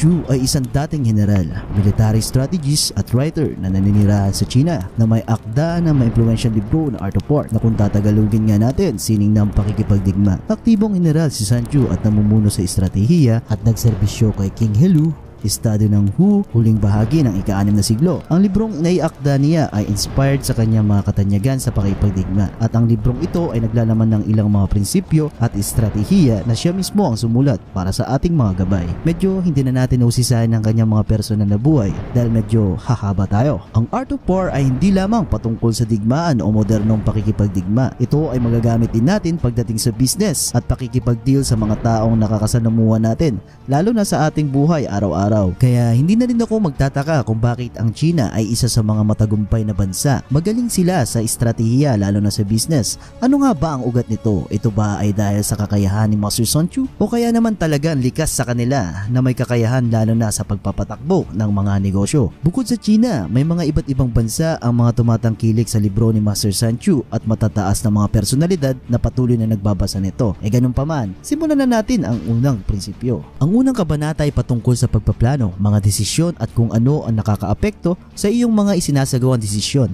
Kung nais natin magkaroon ng matagumpay ng mga pagpaplano, sa gayon dapat nating malaman kung paano tayo makaagawa ng mabuting pagpapasya at kung anong mga epekto nito. Sadya man o hindi sinasadya, ang isang naangkop na plano ay dapat palaging isang magandang lugar upang magsimula. Upang makagawa ng isang naangkop na plano, dapat gumawa ng naangkop na mga desisyon at mga mahusay na mga pagpapasya na mas magiging mabuti ang mga pagpaplano. Ang isang plano ay isang serye lamang ng mga desisyon na isinasagawa. Kung ang mga desisyon ay mabuti, kung gayon ang mga plano ay magiging mabuti rin ang kalalabasan. At kabaligtaran, kung masama ito ay magiging masama din syempre. Sa tuwing magtatakda ang kupunan ni Master Sanchu upang malutas ang mga problema sa diwa ay pinapayag nila ang isang pangunahing digmaan. Sa mga problemang iyon, depende sa laki o kahalagaan ng problema. Kaya't nang sabihin ni Sanchu na ang sinin ng digmaan ay may kahalagaan sa estado, ang digmaan ay isang usapin ng buhay at kamatayan, isang daang patungo sa kaligtasan o pagkasira. Sa makatuwid, ito ay isang paksa ng pagtatanungan na maaring lutasin at hindi mapabayaan. Sinasabi niya kung bakit napakahalagang bigyan ng pansin natin kung paano tayo magpapasya. Sa mga sinasagawa nilang mga pagpaplano, ang kanilang mga kakayahan ay pinagsama-samang kinalabasan ng lahat ng kanilang mga desisyon. Pare-parehong mahalaga at tila hindi mahalaga, kapwa't mabuti at masama at may malay at walang malay. Sa madaling salita, masyado nakatuon ang ating mga pansin sa magiging outcome ng ating mga plano at nakalimutan nating suriin kung paano nangyari ang mga ito. Kaya mas mainam na gumawa ng tamang hakbang at mga tanong na pwedeng mangyari at di mangyayari. Isa na dito ang halimbawa, sino nga ba sa aking mga kasama ang may nakakahigit na pamamaraan at sino ang mga mahihina? Ang mga pagpapasya ay hindi madaling unawain. Kailangan ng maingat na pagpaplano upang ito ay mais katuparan. Ganito din ang ating mga negosyo. Dapat lagi may plano, may options para kung hindi man maisa katuparan ang mga unang hakbang, madali tayong makakabangon. Sabi nga, iwas lugi. Bukod sa pagpaplano, sabi nga ni Master Sancho, dapat meron din tayong katangian ng mga namumuno. Ito po ang pangalawang prinsipyo niya, na ito nga ang mga sinasabi niya. Ang mga komandante ay kumakatawan sa mga karunungan, karapatan, kabutihan, tapang at paghihigpit. Sa makatuwid, sa pinuno dapat merong sapat na angking galing upang maisagawa ang mga pagpaplano. Sa karagdagan ni Master Sancho, winika niya na kaya't sa digmaan ang matagumpay na strategies ay naghahanap lamang ng labanan pagkatapos ng tagumpay ay nagwagi. Samantalang siya ay nagtakdang talunin ang unang laban at pagkatapos ito ay naghanap ng tagumpay. Ito lamang ay isang kaugalian na dapat nating malaman at muling malaman at muling aralin.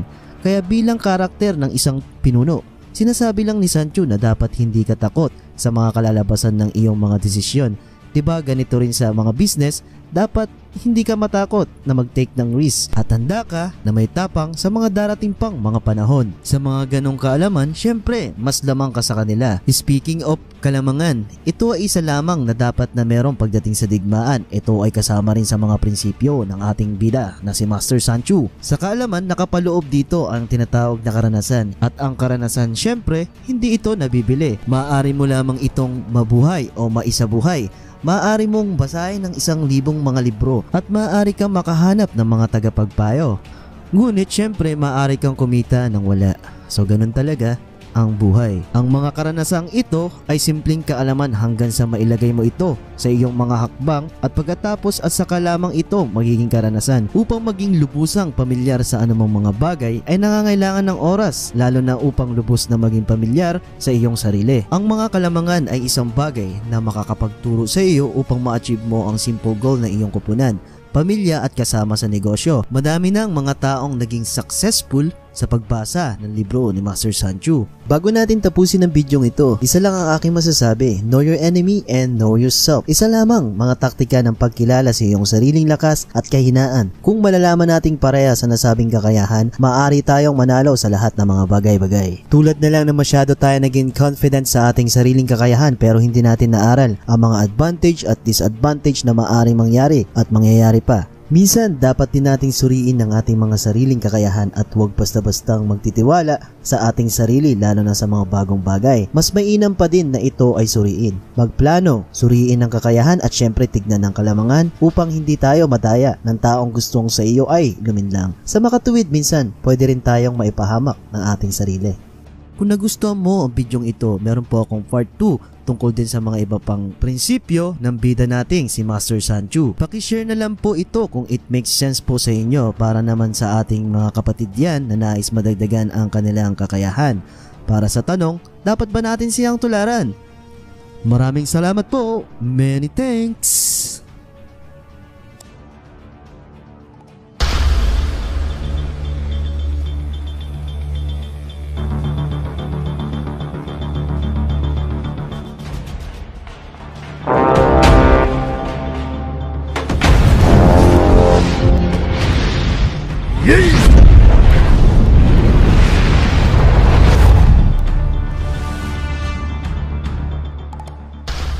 Know your enemy and know yourself, and you can fight a hundred battles without disaster.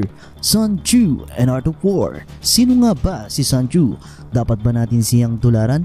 Ano kaya ang kanyang mga kakayahan? At ano-ano ang kanyang mga prinsipyo pagdating sa sining ng digmaan?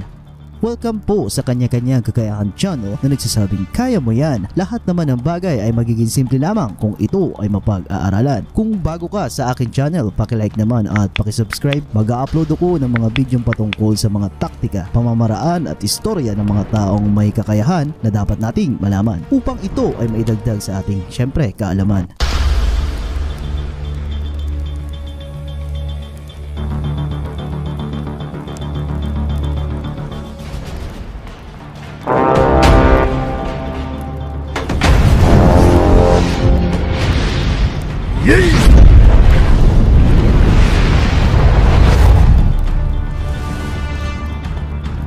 Sanchu ay isang dating general, military strategist at writer na naninirahan sa China na may akda na may influential libro na Art of War na kung tatagalugin nga natin sining ng pakikipagdigma. Aktibong general si Sanchu at namumuno sa estratehiya at nagserbisyo kay King Helu estado ng Hu, huling bahagi ng ika-6 na siglo. Ang librong naiakda niya ay inspired sa kanyang mga katanyagan sa pakipagdigma at ang librong ito ay naglalaman ng ilang mga prinsipyo at estratehiya na siya mismo ang sumulat para sa ating mga gabay. Medyo hindi na natin usisahin ang kanyang mga personal na buhay dahil medyo hahaba tayo. Ang Art of War ay hindi lamang patungkol sa digmaan o modernong pakikipagdigma. Ito ay magagamit din natin pagdating sa business at pakikipagdeal sa mga taong nakakasanamuhan natin lalo na sa ating buhay araw-araw araw. Kaya hindi na rin ako magtataka kung bakit ang China ay isa sa mga matagumpay na bansa. Magaling sila sa estratehiya lalo na sa business. Ano nga ba ang ugat nito? Ito ba ay dahil sa kakayahan ni Master Sun Chu? O kaya naman talagang likas sa kanila na may kakayahan lalo na sa pagpapatakbo ng mga negosyo? Bukod sa China, may mga iba't ibang bansa ang mga tumatangkilik sa libro ni Master Sun Chu at matataas na mga personalidad na patuloy na nagbabasa nito. E ganun pa man, simulan na natin ang unang prinsipyo. Ang unang kabanata ay patungkol sa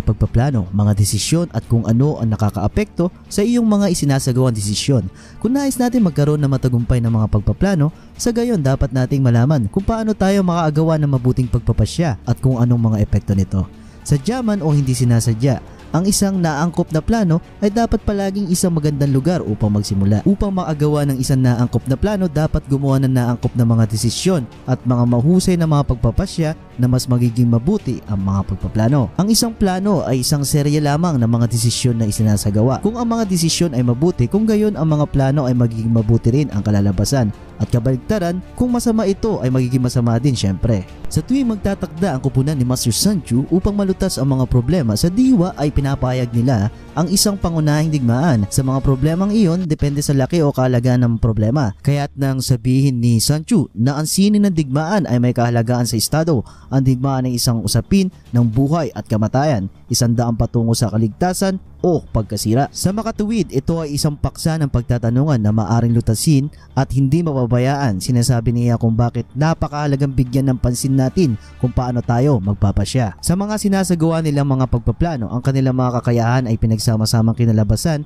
ng lahat ng kanilang mga desisyon. Pare-parehong mahalaga at tila hindi mahalaga, kapwa't mabuti at masama at may malay at walang malay. Sa madaling salita, masyado nakatuon ang ating mga pansin sa magiging outcome ng ating mga plano at nakalimutan nating suriin kung paano nangyari ang mga ito. Kaya mas mainam na gumawa ng tamang hakbang at mga tanong na pwedeng mangyari at di mangyayari. Isa na dito ang halimbawa, sino nga ba sa aking mga kasama ang may nakakahigit na pamamaraan at sino ang mga mahihina? Ang mga pagpapasya ay hindi madaling unawain. Kailangan ng maingat na pagpaplano upang ito ay mais sa katuparan. Ganito din ang ating mga negosyo. Dapat lagi may plano, may options para kung hindi man maisa katuparan ang mga unang hakbang, madali tayong makakabangon. Sabi nga, iwas lugi. Bukod sa pagpaplano, sabi nga ni Master Sancho, dapat meron din tayong katangian ng mga namumuno. Ito po ang pangalawang prinsipyo niya, na ito nga ang mga sinasabi niya. Ang mga komandante ay kumakatawan sa mga karunungan, karapatan, kabutihan, tapang at paghihigpit. Sa makatuwid, sa pinuno dapat merong sapat na angking galing upang maisagawa ang mga pagpaplano. Sa karagdagan ni Master Sancho, winika niya na kaya't sa digmaan ang matagumpay na strategies ay naghahanap lamang ng labanan pagkatapos ng tagumpay ay nagwagi. Samantalang siya ay nagtakdang talunin ang unang laban at pagkatapos ito ay naghanap ng tagumpay. Ito lamang ay isang kaugalian na dapat nating malaman at muling malaman at muling aralin. Kaya bilang karakter ng isang pinuno, sinasabi lang ni Sancho na dapat hindi ka takot sa mga kalalabasan ng iyong mga desisyon. Diba ganito rin sa mga business, dapat hindi ka matakot na mag-take ng risk at handa ka na may tapang sa mga darating pang mga panahon. Sa mga ganong kaalaman, syempre, mas lamang ka sa kanila. Speaking of kalamangan, ito ay isa lamang na dapat na merong pagdating sa digmaan. Ito ay kasama rin sa mga prinsipyo ng ating bida na si Master Sanchu. Sa kaalaman, nakapaloob dito ang tinatawag na karanasan. At ang karanasan, syempre, hindi ito nabibili. Maaari mo lamang itong mabuhay o maisabuhay maaari mong basahin ng isang libong mga libro at maaari kang makahanap ng mga tagapagpayo. Ngunit syempre maaari kang kumita ng wala. So ganun talaga ang buhay. Ang mga karanasang ito ay simpleng kaalaman hanggang sa mailagay mo ito sa iyong mga hakbang at pagkatapos at saka lamang ito magiging karanasan. Upang maging lubusang pamilyar sa anumang mga bagay ay nangangailangan ng oras lalo na upang lubos na maging pamilyar sa iyong sarili. Ang mga kalamangan ay isang bagay na makakapagturo sa iyo upang ma-achieve mo ang simple goal na iyong kupunan pamilya at kasama sa negosyo. Madami ng mga taong naging successful sa pagbasa ng libro ni Master Sanchu. Bago natin tapusin ang bidyong ito, isa lang ang aking masasabi, know your enemy and know yourself. Isa lamang mga taktika ng pagkilala sa iyong sariling lakas at kahinaan. Kung malalaman nating pareha sa nasabing kakayahan, maaari tayong manalo sa lahat ng mga bagay-bagay. Tulad na lang na masyado tayo naging confident sa ating sariling kakayahan pero hindi natin naaral ang mga advantage at disadvantage na maaring mangyari at mangyayari pa. Minsan, dapat din nating suriin ang ating mga sariling kakayahan at huwag basta-bastang magtitiwala sa ating sarili lalo na sa mga bagong bagay. Mas mainam pa din na ito ay suriin. Magplano, suriin ang kakayahan at syempre tignan ang kalamangan upang hindi tayo madaya ng taong gustong sa iyo ay luminlang. Sa makatuwid minsan, pwede rin tayong maipahamak ng ating sarili. Kung nagustuhan mo ang bidyong ito, meron po akong part 2 tungkol din sa mga iba pang prinsipyo ng bida nating si Master Sanchu. Pakishare na lang po ito kung it makes sense po sa inyo para naman sa ating mga kapatid yan na nais madagdagan ang kanilang kakayahan. Para sa tanong, dapat ba natin siyang tularan? Maraming salamat po. Many thanks.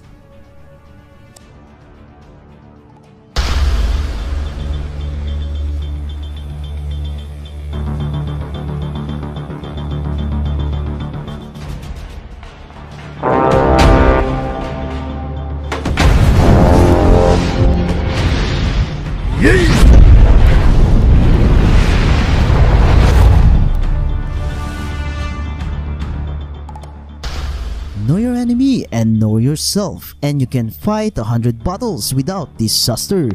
Sun Tzu and Art of War. Sino nga ba si Sun Tzu? Dapat ba natin siyang tularan? Ano kaya ang kanyang mga kakayahan? At ano-ano ang kanyang mga prinsipyo pagdating sa sining ng digmaan? Welcome po sa kanya-kanyang kakayahan channel na nagsasabing kaya mo yan. Lahat naman ng bagay ay magiging simple lamang kung ito ay mapag-aaralan. Kung bago ka sa akin channel, pakilike naman at pakisubscribe. Mag-upload ako ng mga video patungkol sa mga taktika, pamamaraan at istorya ng mga taong may kakayahan na dapat nating malaman upang ito ay maidagdag sa ating syempre kaalaman.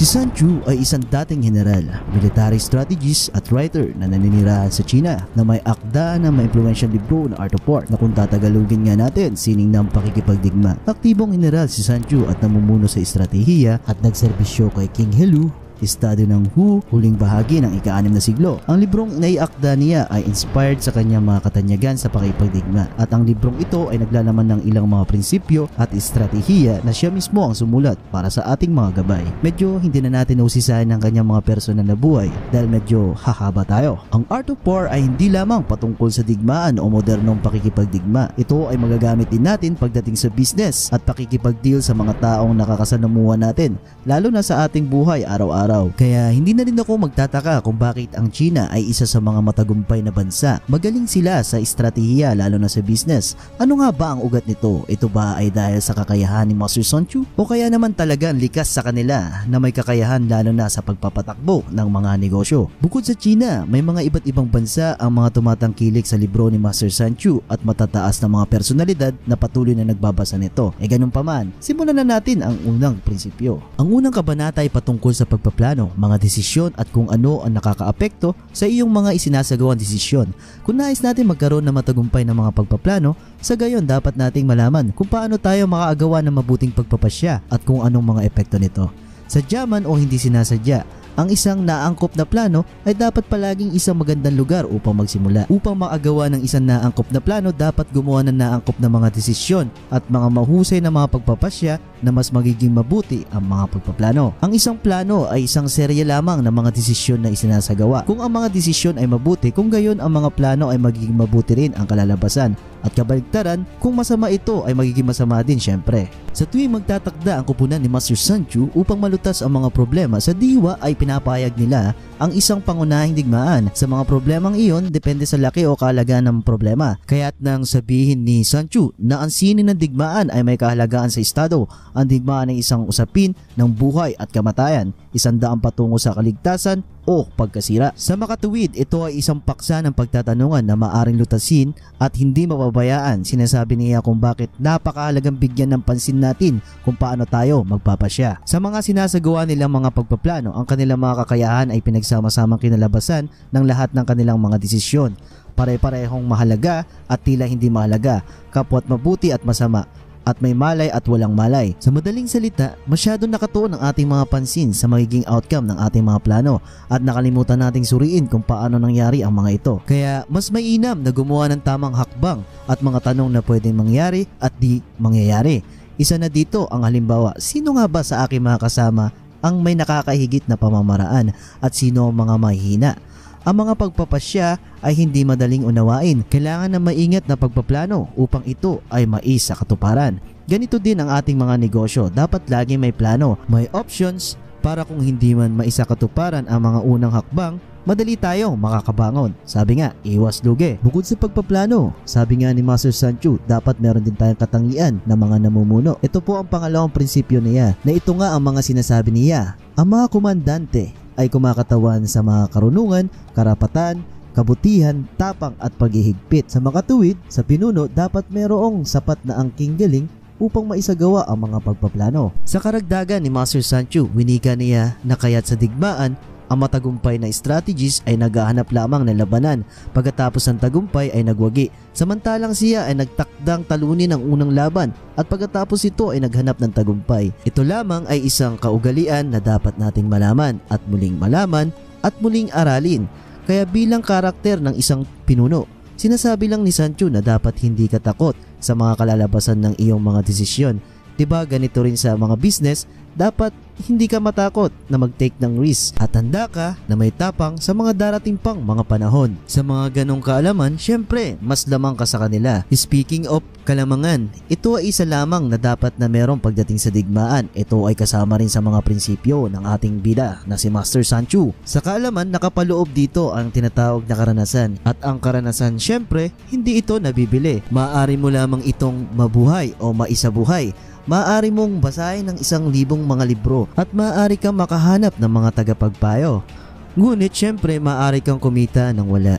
So ganun talaga ang buhay. Ang mga karanasang ito ay simpleng kaalaman hanggang sa mailagay mo ito sa iyong mga hakbang at pagkatapos at saka lamang ito magiging karanasan. Upang maging lubusang pamilyar sa anumang mga bagay ay nangangailangan ng oras lalo na upang lubos na maging pamilyar sa iyong sarili. Ang mga kalamangan ay isang bagay na makakapagturo sa iyo upang ma-achieve mo ang simple goal na iyong kupunan pamilya at kasama sa negosyo. Madami ng mga taong naging successful sa pagbasa ng libro ni Master Sanchu. Bago natin tapusin ang bidyong ito, isa lang ang aking masasabi, know your enemy and know yourself. Isa lamang mga taktika ng pagkilala sa iyong sariling lakas at kahinaan. Kung malalaman nating pareha sa nasabing kakayahan, maaari tayong manalo sa lahat ng mga bagay-bagay. Tulad na lang na masyado tayo naging confident sa ating sariling kakayahan pero hindi natin naaral ang mga advantage at disadvantage na maaring mangyari at mangyayari pa. Minsan, dapat din nating suriin ang ating mga sariling kakayahan at huwag basta-bastang magtitiwala sa ating sarili lalo na sa mga bagong bagay. Mas mainam pa din na ito ay suriin. Magplano, suriin ang kakayahan at syempre tignan ang kalamangan upang hindi tayo madaya ng taong gustong sa iyo ay luminlang. Sa makatuwid minsan, pwede rin tayong maipahamak ng ating sarili. Kung nagustuhan mo ang bidyong ito, meron po akong part 2 tungkol din sa mga iba pang prinsipyo ng bida nating si Master Sanchu. Pakishare na lang po ito kung it makes sense po sa inyo para naman sa ating mga kapatid yan na nais madagdagan ang kanilang kakayahan. Para sa tanong, dapat ba natin siyang tularan? Maraming salamat po. Many thanks.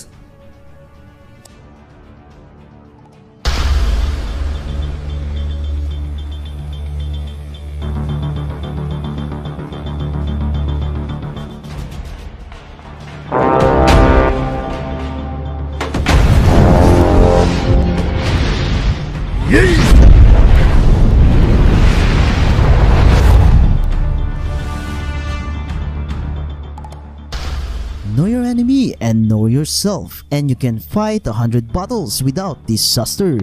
Sun Tzu and Art of War. Sino nga ba si Sun Tzu? Dapat ba natin siyang tularan? Ano kaya ang kanyang mga kakayahan at ano-ano ang kanyang mga prinsipyo pagdating sa sining ng digmaan?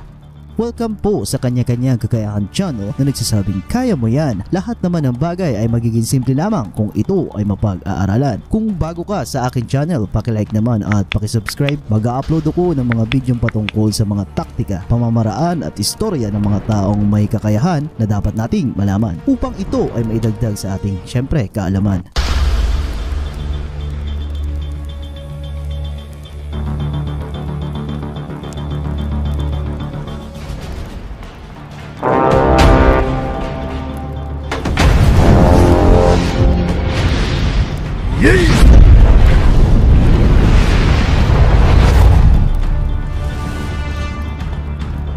Sanchu ay isang dating general, military strategist at writer na naninirahan sa China na may akda na may influential libro na Art of War na kung tatagalugin nga natin sining ng pakikipagdigma. Aktibong general si Sanchu at namumuno sa estratehiya at nagserbisyo kay King Helu estado ng Hu, huling bahagi ng ika-anim na siglo. Ang librong naiakda niya ay inspired sa kanyang mga katanyagan sa pakipagdigma at ang librong ito ay naglalaman ng ilang mga prinsipyo at estratehiya na siya mismo ang sumulat para sa ating mga gabay. Medyo hindi na natin usisahin ang kanyang mga personal na buhay dahil medyo hahaba tayo. Ang Art of War ay hindi lamang patungkol sa digmaan o modernong pakikipagdigma. Ito ay magagamit din natin pagdating sa business at pakikipagdeal sa mga taong nakakasanamuhan natin lalo na sa ating buhay araw-araw araw. Kaya hindi na rin ako magtataka kung bakit ang China ay isa sa mga matagumpay na bansa. Magaling sila sa estratehiya lalo na sa business. Ano nga ba ang ugat nito? Ito ba ay dahil sa kakayahan ni Master Sun Chu? O kaya naman talagang likas sa kanila na may kakayahan lalo na sa pagpapatakbo ng mga negosyo? Bukod sa China, may mga iba't ibang bansa ang mga tumatangkilik sa libro ni Master Sun Chu at matataas na mga personalidad na patuloy na nagbabasa nito. E ganun pa man, simulan na natin ang unang prinsipyo.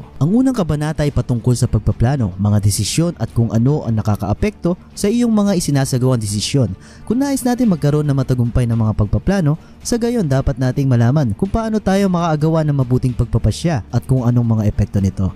Sadya man o hindi sinasadya, ang isang naangkop na plano ay dapat palaging isang magandang lugar upang magsimula. Upang makagawa ng isang naangkop na plano, dapat gumawa ng naangkop na mga desisyon at mga mahusay na mga pagpapasya na mas magiging mabuti ang mga pagpaplano. Ang isang plano ay isang serye lamang ng mga desisyon na isinasagawa. Kung ang mga desisyon ay mabuti, kung gayon ang mga plano ay magiging mabuti rin ang kalalabasan.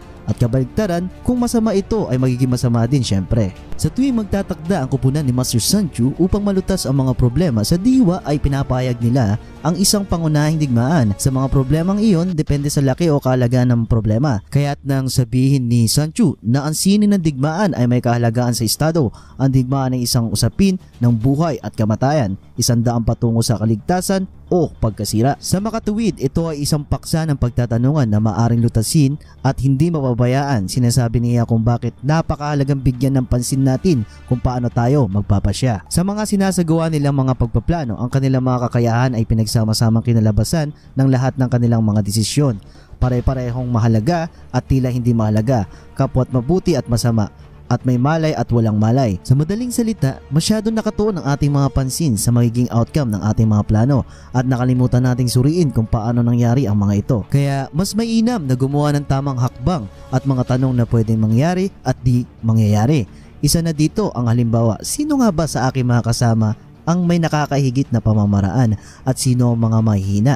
Ang mga pagpapasya ay hindi madaling unawain. Kailangan ng maingat na pagpaplano upang ito ay mais sa katuparan. Ganito din ang ating mga negosyo. Dapat lagi may plano, may options para kung hindi man maisa katuparan ang mga unang hakbang, madali tayong makakabangon. Sabi nga, iwas lugi. Bukod sa pagpaplano, sabi nga ni Master Sanchu, dapat meron din tayong katangian ng mga namumuno. Ito po ang pangalawang prinsipyo niya, na ito nga ang mga sinasabi niya. Ang mga komandante ay kumakatawan sa mga karunungan, karapatan, kabutihan, tapang at paghihigpit. Sa makatuwid, sa pinuno dapat merong sapat na angking galing upang maisagawa ang mga pagpaplano. Sa karagdagan ni Master Sancho, winika niya na kaya't sa digmaan ang matagumpay na strategies ay naghahanap lamang ng labanan pagkatapos ng tagumpay ay nagwagi. Samantalang siya ay nagtakdang talunin ang unang laban at pagkatapos ito ay naghanap ng tagumpay. Ito lamang ay isang kaugalian na dapat nating malaman at muling malaman at muling aralin.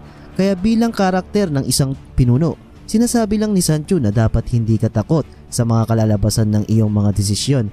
'Di ba ganito rin sa mga business, dapat hindi ka matakot na mag-take ng risk at handa ka na may tapang sa mga darating pang mga panahon. Sa mga ganong kaalaman, syempre, mas lamang ka sa kanila. Speaking of kalamangan, ito ay isa lamang na dapat na merong pagdating sa digmaan. Ito ay kasama rin sa mga prinsipyo ng ating bida na si Master Sanchu. Sa kaalaman, nakapaloob dito ang tinatawag na karanasan. At ang karanasan, syempre, hindi ito nabibili. Maaari mo lamang itong mabuhay o maisabuhay maaari mong basahin ng isang libong mga libro at maaari kang makahanap ng mga tagapagpayo.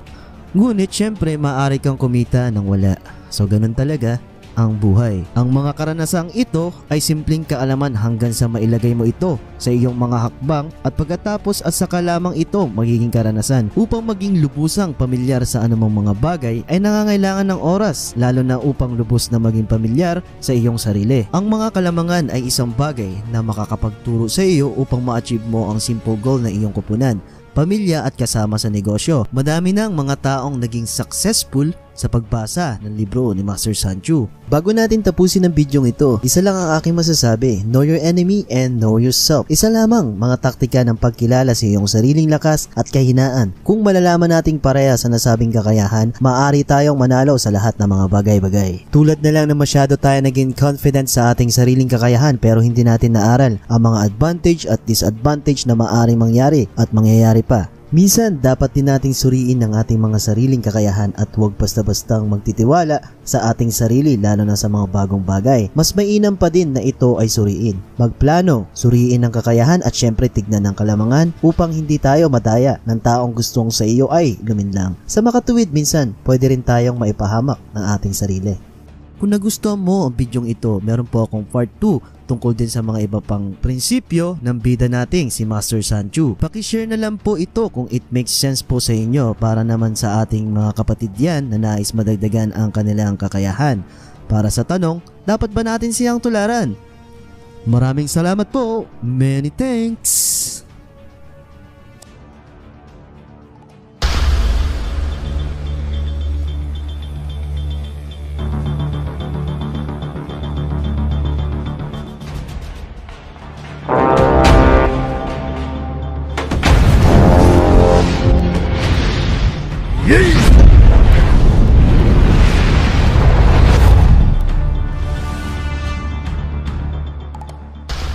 Know your enemy and know yourself and you can fight a hundred battles without disaster. Sun Tzu and Art of War. Sino nga ba si Sun Tzu? Dapat ba natin siyang tularan? Ano kaya ang kanyang mga kakayahan at ano-ano ang kanyang mga prinsipyo pagdating sa sining ng digmaan? Welcome po sa kanya-kanyang kakayahan channel na nagsasabing kaya mo yan. Lahat naman ng bagay ay magiging simple lamang kung ito ay mapag-aaralan. Kung bago ka sa akin channel, pakilike naman at pakisubscribe. Mag-upload ako ng mga bidyong patungkol sa mga taktika, pamamaraan at istorya ng mga taong may kakayahan na dapat nating malaman upang ito ay maidagdag sa ating syempre kaalaman.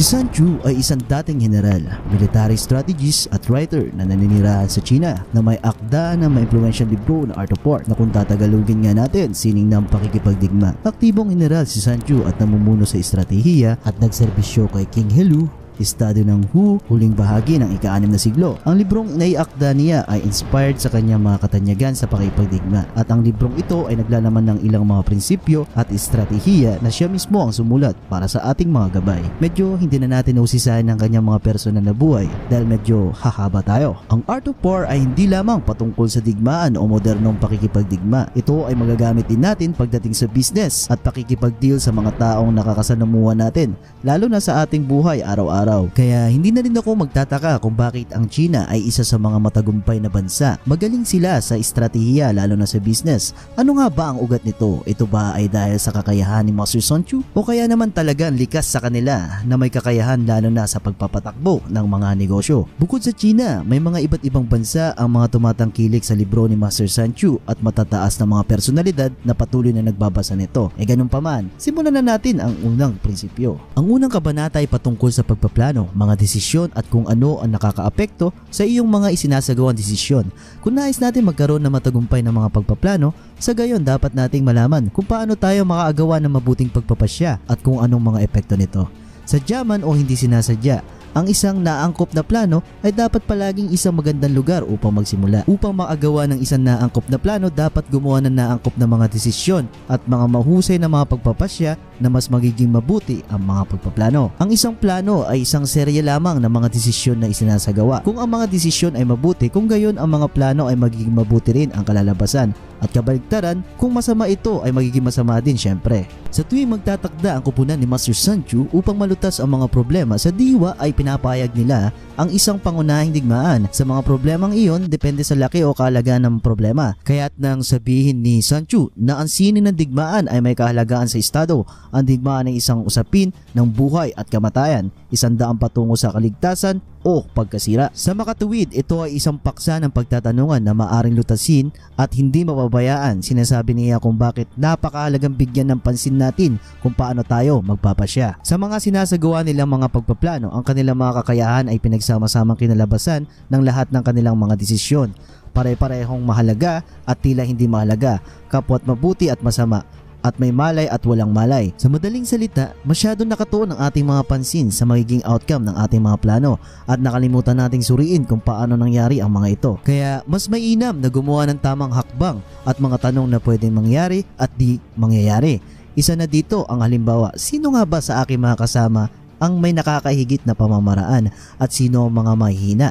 Ang mga pagpapasya ay hindi madaling unawain. Kailangan ng maingat na pagpaplano upang ito ay mais sa katuparan. Ganito din ang ating mga negosyo. Dapat lagi may plano, may options para kung hindi man maisa katuparan ang mga unang hakbang, madali tayong makakabangon. Sabi nga, iwas lugi. Bukod sa pagpaplano, sabi nga ni Master Sancho, dapat meron din tayong katangian na mga namumuno. Ito po ang pangalawang prinsipyo niya na ito nga ang mga sinasabi niya. Ang mga komandante ay kumakatawan sa mga karunungan, karapatan, kabutihan, tapang at paghihigpit. Sa makatuwid, sa pinuno dapat merong sapat na angking galing upang maisagawa ang mga pagpaplano. Sa karagdagan ni Master Sancho, winika niya na kaya't sa digmaan, ang matagumpay na strategies ay naghahanap lamang ng labanan pagkatapos ng tagumpay ay nagwagi. Samantalang siya ay nagtakdang talunin ang unang laban at pagkatapos ito ay naghanap ng tagumpay. Ito lamang ay isang kaugalian na dapat nating malaman at muling malaman at muling aralin.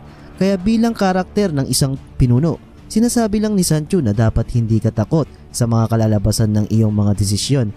'Di ba ganito rin sa mga business, dapat hindi ka matakot na mag-take ng risk at handa ka na may tapang sa mga darating pang mga panahon. Sa mga ganong kaalaman, syempre, mas lamang ka sa kanila. Speaking of kalamangan, ito ay isa lamang na dapat na merong pagdating sa digmaan. Ito ay kasama rin sa mga prinsipyo ng ating bida na si Master Sanchu. Sa kaalaman, nakapaloob dito ang tinatawag na karanasan. At ang karanasan, syempre, hindi ito nabibili. Maaari mo lamang itong mabuhay o maisabuhay maaari mong basahin ng isang libong mga libro at maaari kang makahanap ng mga tagapagpayo. Ngunit syempre maaari kang kumita ng wala.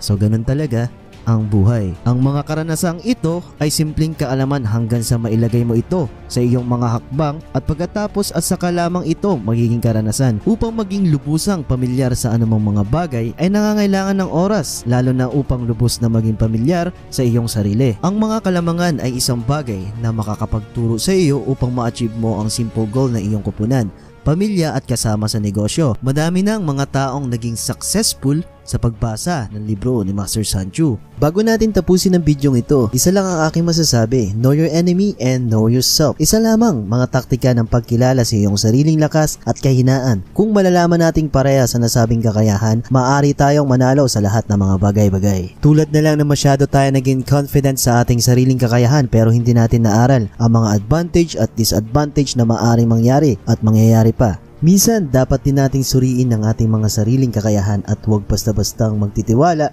sa ating sarili lalo na sa mga bagong bagay. Mas mainam pa din na ito ay suriin. Magplano, suriin ang kakayahan at syempre tignan ang kalamangan upang hindi tayo madaya ng taong gustong sa iyo ay luminlang. Sa makatuwid minsan, pwede rin tayong maipahamak ng ating sarili. Kung nagustuhan mo ang bidyong ito, meron po akong part 2 tungkol din sa mga iba pang prinsipyo ng bida nating si Master Sanchu. Pakishare na lang po ito kung it makes sense po sa inyo para naman sa ating mga kapatid yan na nais madagdagan ang kanilang kakayahan. Para sa tanong, dapat ba natin siyang tularan? Maraming salamat po. Many thanks.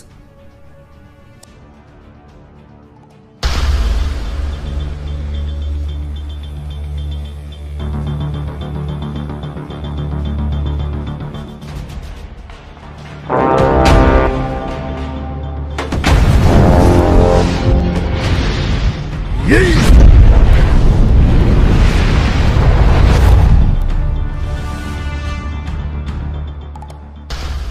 your enemy and know yourself, and you can fight a hundred battles without disaster. Sun Tzu and Art of War. Sino nga ba si Sun Tzu? Dapat ba natin siyang tularan? Ano kaya ang kanyang mga kakayahan? At ano-ano ang kanyang mga prinsipyo pagdating sa sining ng digmaan? Welcome po sa kanya-kanyang kakayahan channel na nagsasabing kaya mo yan. Lahat naman ng bagay ay magiging simple lamang kung ito ay mapag-aaralan. Kung bago ka sa akin channel, pakilike naman at pakisubscribe. Mag-upload ako ng mga bidyong patungkol sa mga taktika, pamamaraan at istorya ng mga taong may kakayahan na dapat nating malaman upang ito ay maidagdag sa ating syempre kaalaman.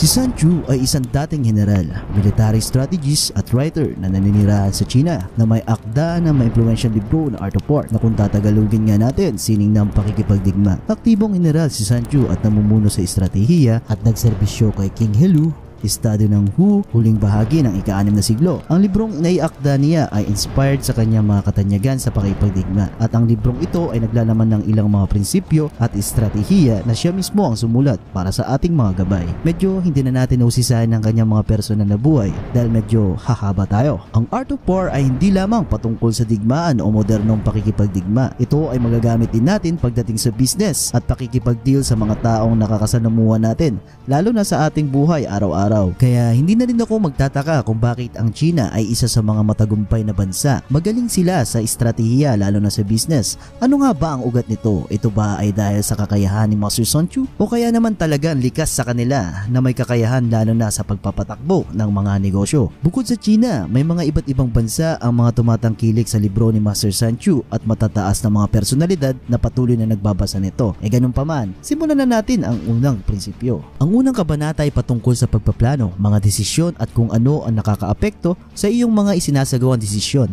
Kung nais natin magkaroon ng matagumpay ng mga pagpaplano, sa gayon dapat nating malaman kung paano tayo makaagawa ng mabuting pagpapasya at kung anong mga epekto nito. Sadya man o hindi sinasadya, ang isang naangkop na plano ay dapat palaging isang magandang lugar upang magsimula. Upang makagawa ng isang naangkop na plano, dapat gumawa ng naangkop na mga desisyon at mga mahusay na mga pagpapasya na mas magiging mabuti ang mga pagpaplano. Ang isang plano ay isang serye lamang ng mga desisyon na isinasagawa. Kung ang mga desisyon ay mabuti, kung gayon ang mga plano ay magiging mabuti rin ang kalalabasan. At kabaligtaran, kung masama ito ay magiging masama din syempre. Sa tuwing magtatakda ang kupunan ni Master Sanchu upang malutas ang mga problema sa diwa ay pinapayag nila ang isang pangunahing digmaan. Sa mga problemang iyon, depende sa laki o kahalagaan ng problema. Kaya't nang sabihin ni Sanchu na ang sinin ng digmaan ay may kahalagaan sa estado, ang digmaan ay isang usapin ng buhay at kamatayan, isang daang patungo sa kaligtasan o pagkasira. Sa makatuwid, ito ay isang paksa ng pagtatanungan na maaring lutasin at hindi mapabayaan. Sinasabi niya kung bakit napakahalagang bigyan ng pansin natin kung paano tayo magpapasya. Sa mga sinasagawa nilang mga pagpaplano, ang kanilang mga kakayahan ay pinagsama-samang kinalabasan ng lahat ng kanilang mga desisyon. Pare-parehong mahalaga at tila hindi mahalaga, kapwa't mabuti at masama at may malay at walang malay. Sa madaling salita, masyado nakatuon ang ating mga pansin sa magiging outcome ng ating mga plano at nakalimutan nating suriin kung paano nangyari ang mga ito. Kaya mas mainam na gumawa ng tamang hakbang at mga tanong na pwedeng mangyari at di mangyayari. Isa na dito ang halimbawa, sino nga ba sa aking mga kasama ang may nakakahigit na pamamaraan at sino ang mga mahihina? Ang mga pagpapasya ay hindi madaling unawain. Kailangan ng maingat na pagpaplano upang ito ay mais katuparan. Ganito din ang ating mga negosyo. Dapat lagi may plano, may options para kung hindi man maisa katuparan ang mga unang hakbang, madali tayong makakabangon. Sabi nga, iwas lugi. Bukod sa pagpaplano, sabi nga ni Master Sancho, dapat meron din tayong katangian na mga namumuno. Ito po ang pangalawang prinsipyo niya, na ito nga ang mga sinasabi niya. Ang mga komandante ay kumakatawan sa mga karunungan, karapatan, kabutihan, tapang at paghihigpit. Sa makatuwid, sa pinuno dapat merong sapat na angking galing upang maisagawa ang mga pagpaplano. Sa karagdagan ni Master Sancho, winika niya na kaya't sa digmaan ang matagumpay na strategies ay naghahanap lamang ng labanan pagkatapos ng tagumpay ay nagwagi. Samantalang siya ay nagtakdang talunin ang unang laban at pagkatapos ito ay naghanap ng tagumpay. Ito lamang ay isang kaugalian na dapat nating malaman at muling malaman at muling aralin. Kaya bilang karakter ng isang pinuno, sinasabi lang ni Sancho na dapat hindi ka takot sa mga kalalabasan ng iyong mga desisyon. Diba ganito rin sa mga business, dapat hindi ka matakot na mag-take ng risk at handa ka na may tapang sa mga darating pang mga panahon. Sa mga ganong kaalaman, syempre, mas lamang ka sa kanila. Speaking of kalamangan, ito ay isa lamang na dapat na merong pagdating sa digmaan. Ito ay kasama rin sa mga prinsipyo ng ating bida na si Master Sanchu. Sa kaalaman, nakapaloob dito ang tinatawag na karanasan. At ang karanasan, syempre, hindi ito nabibili. Maaari mo lamang itong mabuhay o maisabuhay maaari mong basahin ng isang libong mga libro at maaari kang makahanap ng mga tagapagpayo. Ngunit syempre maaari kang kumita ng wala.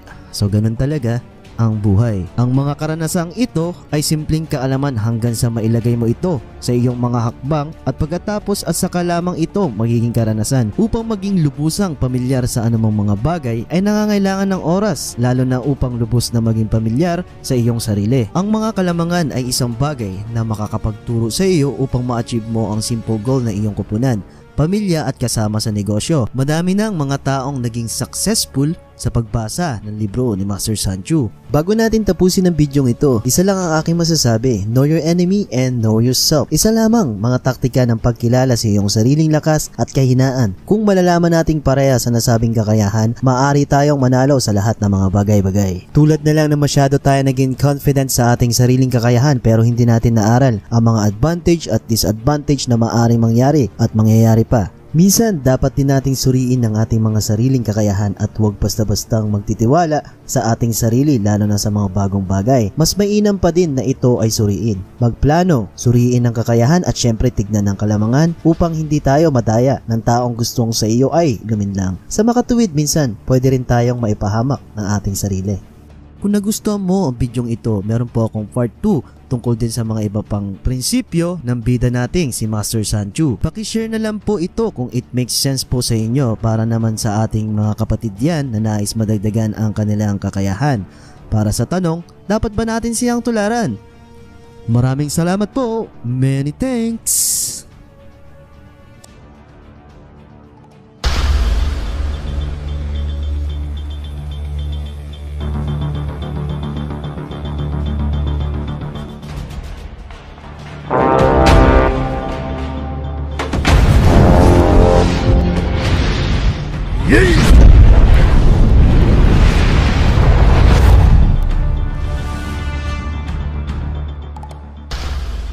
Enemy and know yourself and you can fight a hundred battles without disaster. Sun Tzu and Art of War. Sino nga ba si Sun Tzu? Dapat ba natin siyang tularan? Ano kaya ang kanyang mga kakayahan at ano-ano ang kanyang mga prinsipyo pagdating sa sining ng digmaan? Welcome po sa kanya-kanyang kakayahan channel na nagsasabing kaya mo yan. Lahat naman ng bagay ay magiging simple lamang kung ito ay mapag-aaralan. Kung bago ka sa akin channel, pakilike naman at pakisubscribe. Mag-upload ako ng mga bidyong patungkol sa mga taktika, pamamaraan at istorya ng mga taong may kakayahan na dapat nating malaman upang ito ay maidagdag sa ating syempre kaalaman.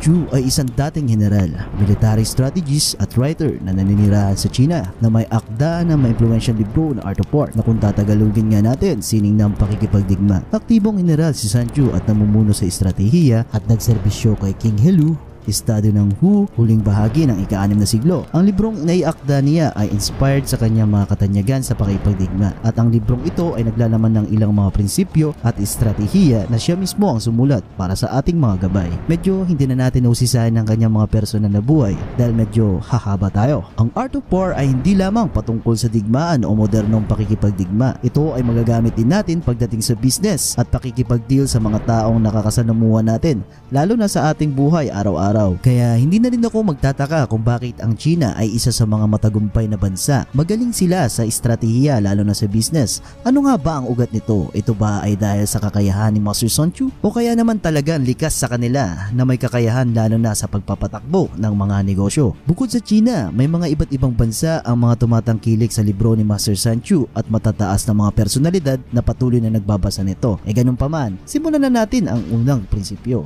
Ang unang kabanata ay patungkol sa pagpapatakbo plano, mga desisyon at kung ano ang nakakaapekto sa iyong mga isinasagawang desisyon. Kung nais natin magkaroon ng matagumpay ng mga pagpaplano, sa gayon dapat nating malaman kung paano tayo makagawa ng mabuting pagpapasya at kung anong mga epekto nito. Sadya man o hindi sinasadya, ang isang naangkop na plano ay dapat palaging isang magandang lugar upang magsimula. Upang makagawa ng isang naangkop na plano, dapat gumawa ng naangkop na mga desisyon at mga mahusay na mga pagpapasya na mas magiging mabuti ang mga pagpaplano. Ang isang plano ay isang serye lamang ng mga desisyon na isinasagawa. Kung ang mga desisyon ay mabuti, kung gayon ang mga plano ay magiging mabuti rin ang kalalabasan At kabaligtaran, kung masama ito ay magiging masama din syempre. Sa tuwing magtatakda ang kupunan ni Master Sanchu upang malutas ang mga problema sa diwa ay pinapayag nila ang isang pangunahing digmaan. Sa mga problemang iyon, depende sa laki o kahalagaan ng problema. Kaya't nang sabihin ni Sanchu na ang sinin ng digmaan ay may kahalagaan sa estado, ang digmaan ay isang usapin ng buhay at kamatayan, isang daang patungo sa kaligtasan o pagkasira. Sa makatuwid, ito ay isang paksa ng pagtatanungan na maaring lutasin at hindi mababayaan. Sinasabi niya kung bakit napakahalagang bigyan ng pansin natin kung paano tayo magpapasya. Sa mga sinasagawa nilang mga pagpaplano, ang kanilang mga kakayahan ay pinagsama-samang kinalabasan ng lahat ng kanilang mga desisyon. Pare-parehong mahalaga at tila hindi mahalaga, kapwa't mabuti at masama at may malay at walang malay. Sa madaling salita, masyado nakatuon ang ating mga pansin sa magiging outcome ng ating mga plano at nakalimutan nating suriin kung paano nangyari ang mga ito. Kaya mas mainam na gumawa ng tamang hakbang at mga tanong na pwedeng mangyari at di mangyayari. Isa na dito ang halimbawa, sino nga ba sa aking mga kasama ang may nakakahigit na pamamaraan at sino ang mga mahihina?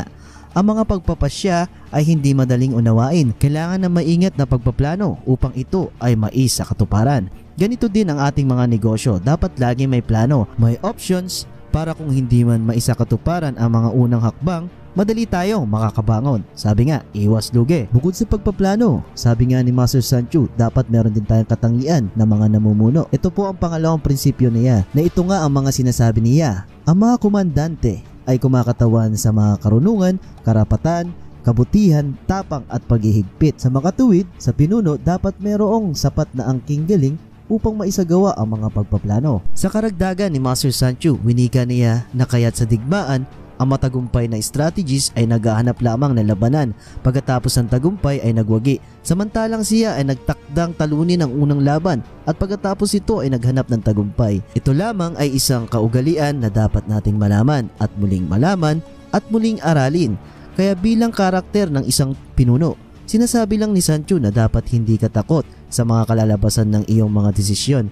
'Di ba ganito rin sa mga business, dapat hindi ka matakot na mag-take ng risk at handa ka na may tapang sa mga darating pang mga panahon. Sa mga ganong kaalaman, syempre, mas lamang ka sa kanila. Speaking of kalamangan, ito ay isa lamang na dapat na merong pagdating sa digmaan. Ito ay kasama rin sa mga prinsipyo ng ating bida na si Master Sanchu. Sa kaalaman, nakapaloob dito ang tinatawag na karanasan. At ang karanasan, syempre, hindi ito nabibili. Maaari mo lamang itong mabuhay o maisabuhay maaari mong basahin ng isang libong mga libro at maaari kang makahanap ng mga tagapagpayo. Ngunit syempre maaari kang kumita ng wala. So ganun talaga ang buhay. Ang mga karanasang ito ay simpleng kaalaman hanggang sa mailagay mo ito sa iyong mga hakbang at pagkatapos at saka lamang ito magiging karanasan. Upang maging lubusang pamilyar sa anumang mga bagay ay nangangailangan ng oras lalo na upang lubos na maging pamilyar sa iyong sarili. Ang mga kalamangan ay isang bagay na makakapagturo sa iyo upang ma-achieve mo ang simple goal na iyong kupunan pamilya at kasama sa negosyo. Madami ng mga taong naging successful sa pagbasa ng libro ni Master Sanchu. Bago natin tapusin ang bidyong ito, isa lang ang aking masasabi, know your enemy and know yourself. Isa lamang mga taktika ng pagkilala sa iyong sariling lakas at kahinaan. Kung malalaman nating pareha sa nasabing kakayahan, maaari tayong manalo sa lahat ng mga bagay-bagay. Tulad na lang na masyado tayo naging confident sa ating sariling kakayahan pero hindi natin naaral ang mga advantage at disadvantage na maaaring mangyari at mangyayari pa. Minsan, dapat din nating suriin ang ating mga sariling kakayahan at huwag basta-bastang magtitiwala sa ating sarili lalo na sa mga bagong bagay. Mas mainam pa din na ito ay suriin. Magplano, suriin ang kakayahan at syempre tignan ang kalamangan upang hindi tayo madaya ng taong gustong sa iyo ay luminlang. Sa makatuwid minsan, pwede rin tayong maipahamak ng ating sarili. Kung nagustuhan mo ang bidyong ito, meron po akong part 2 tungkol din sa mga iba pang prinsipyo ng bida nating si Master Sanchu. Pakishare na lang po ito kung it makes sense po sa inyo para naman sa ating mga kapatid yan na nais madagdagan ang kanilang kakayahan. Para sa tanong, dapat ba natin siyang tularan? Maraming salamat po. Many thanks.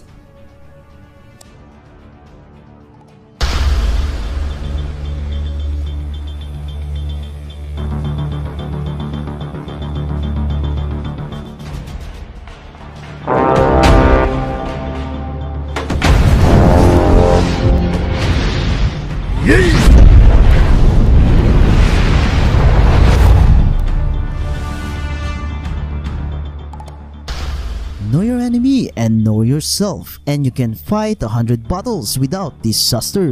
Sun Tzu and Art of War. Sino nga ba si Sun Tzu? Dapat ba natin siyang tularan? Ano kaya ang kanyang mga kakayahan at ano-ano ang kanyang mga prinsipyo pagdating sa sining ng digmaan? Welcome po sa kanya-kanyang kakayahan channel na nagsasabing kaya mo yan. Lahat naman ng bagay ay magiging simple lamang kung ito ay mapag-aaralan. Kung bago ka sa akin channel, pakilike naman at pakisubscribe. Mag-upload ako ng mga video patungkol sa mga taktika, pamamaraan at istorya ng mga taong may kakayahan na dapat nating malaman upang ito ay maidagdag sa ating syempre kaalaman.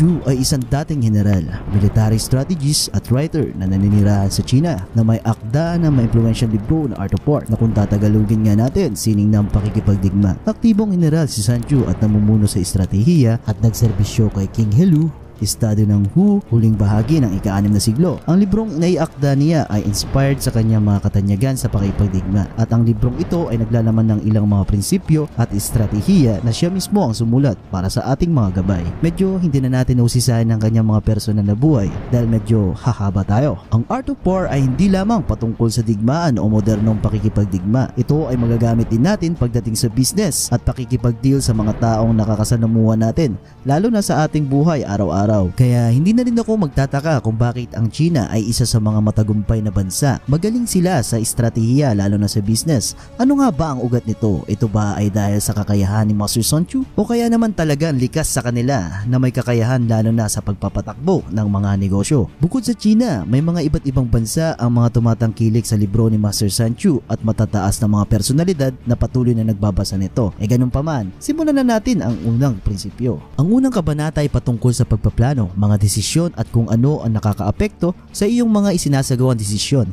Kung nais natin magkaroon ng matagumpay ng mga pagpaplano, sa gayon dapat nating malaman kung paano tayo makaagawa ng mabuting pagpapasya at kung anong mga epekto nito. Sadya man o hindi sinasadya, ang isang naangkop na plano ay dapat palaging isang magandang lugar upang magsimula. Upang makagawa ng isang naangkop na plano, dapat gumawa ng naangkop na mga desisyon at mga mahusay na mga pagpapasya na mas magiging mabuti ang mga pagpaplano. Ang isang plano ay isang serya lamang ng mga desisyon na isinasagawa. Kung ang mga desisyon ay mabuti, kung gayon ang mga plano ay magiging mabuti rin ang kalalabasan. At kabaligtaran, kung masama ito ay magiging masama din syempre. Sa tuwing magtatakda ang kupunan ni Master Sun Tzu upang malutas ang mga problema sa diwa ay pinapayag nila ang isang pangunahing digmaan. Sa mga problemang iyon, depende sa laki o kahalagaan ng problema. Kaya't nang sabihin ni Sun Tzu na ang sinin ng digmaan ay may kahalagaan sa estado, ang digmaan ay isang usapin ng buhay at kamatayan, isang daang patungo sa kaligtasan o pagkasira. Sa makatuwid, ito ay isang paksa ng pagtatanungan na maaring lutasin at hindi mapabayaan. Sinasabi niya kung bakit napakahalagang bigyan ng pansin natin kung paano tayo magpapasya. Sa mga sinasagawa nilang mga pagpaplano, ang kanilang mga kakayahan ay pinagsama-samang kinalabasan ng lahat ng kanilang mga desisyon. Pare-parehong mahalaga at tila hindi mahalaga, kapwa't mabuti at masama at may malay at walang malay. Sa madaling salita, masyado nakatuon ang ating mga pansin sa magiging outcome ng ating mga plano at nakalimutan nating suriin kung paano nangyari ang mga ito. Kaya mas mainam na gumawa ng tamang hakbang at mga tanong na pwedeng mangyari at di mangyayari. Isa na dito ang halimbawa, sino nga ba sa aking mga kasama ang may nakakahigit na pamamaraan at sino ang mga mahihina? Ang mga pagpapasya ay hindi madaling unawain. Kailangan ng maingat na pagpaplano upang ito ay mais sa katuparan. Ganito din ang ating mga negosyo. Dapat lagi may plano, may options para kung hindi man maisa katuparan ang mga unang hakbang, madali tayong makakabangon. Sabi nga, iwas lugi. Bukod sa pagpaplano, sabi nga ni Master Sancho, dapat meron din tayong katangian na mga namumuno. Ito po ang pangalawang prinsipyo niya na ito nga ang mga sinasabi niya. Ang mga komandante ay kumakatawan sa mga karunungan, karapatan, kabutihan, tapang at paghihigpit. Sa makatuwid, sa pinuno dapat merong sapat na angking galing upang maisagawa ang mga pagpaplano. Sa karagdagan ni Master Sancho, winika niya na kaya't sa digmaan ang matagumpay na strategies ay naghahanap lamang ng labanan pagkatapos ng tagumpay ay nagwagi. Samantalang siya ay nagtakdang talunin ang unang laban at pagkatapos ito ay naghanap ng tagumpay. Ito lamang ay isang kaugalian na dapat nating malaman at muling malaman at muling aralin. Kaya bilang karakter ng isang pinuno, sinasabi lang ni Sancho na dapat hindi ka takot sa mga kalalabasan ng iyong mga desisyon. 'Di ba ganito rin sa mga business, dapat hindi ka matakot na mag-take ng risk at handa ka na may tapang sa mga darating pang mga panahon. Sa mga ganong kaalaman, syempre, mas lamang ka sa kanila. Speaking of kalamangan, ito ay isa lamang na dapat na merong pagdating sa digmaan. Ito ay kasama rin sa mga prinsipyo ng ating bida na si Master Sanchu. Sa kaalaman, nakapaloob dito ang tinatawag na karanasan. At ang karanasan, syempre, hindi ito nabibili. Maaari mo lamang itong mabuhay o maisabuhay maaari mong basahin ng isang libong mga libro at maaari kang makahanap ng mga tagapagpayo.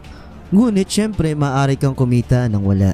So ganun talaga ang buhay. Ang mga karanasang ito ay simpleng kaalaman hanggang sa mailagay mo ito sa iyong mga hakbang at pagkatapos at saka lamang ito magiging karanasan. Upang maging lubusang pamilyar sa anumang mga bagay ay nangangailangan ng oras lalo na upang lubos na maging pamilyar sa iyong sarili. Ang mga kalamangan ay isang bagay na makakapagturo sa iyo upang ma-achieve mo ang simple goal na iyong kupunan pamilya at kasama sa negosyo. Madami ng mga taong naging successful sa pagbasa ng libro ni Master Sanchu. Bago natin tapusin ang bidyong ito, isa lang ang aking masasabi, know your enemy and know yourself. Isa lamang mga taktika ng pagkilala sa iyong sariling lakas at kahinaan. Kung malalaman nating pareha sa nasabing kakayahan, maaari tayong manalo sa lahat ng mga bagay-bagay. Tulad na lang na masyado tayo naging confident sa ating sariling kakayahan pero hindi natin naaral ang mga advantage at disadvantage na maaaring mangyari at mangyayari pa. Minsan, dapat din nating suriin ang ating mga sariling kakayahan at huwag basta-bastang magtitiwala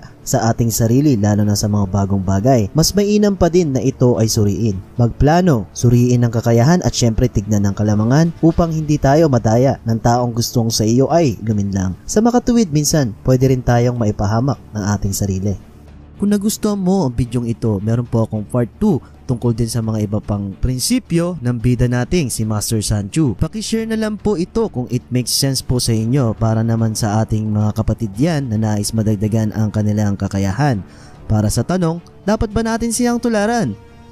Maraming salamat po. Many thanks.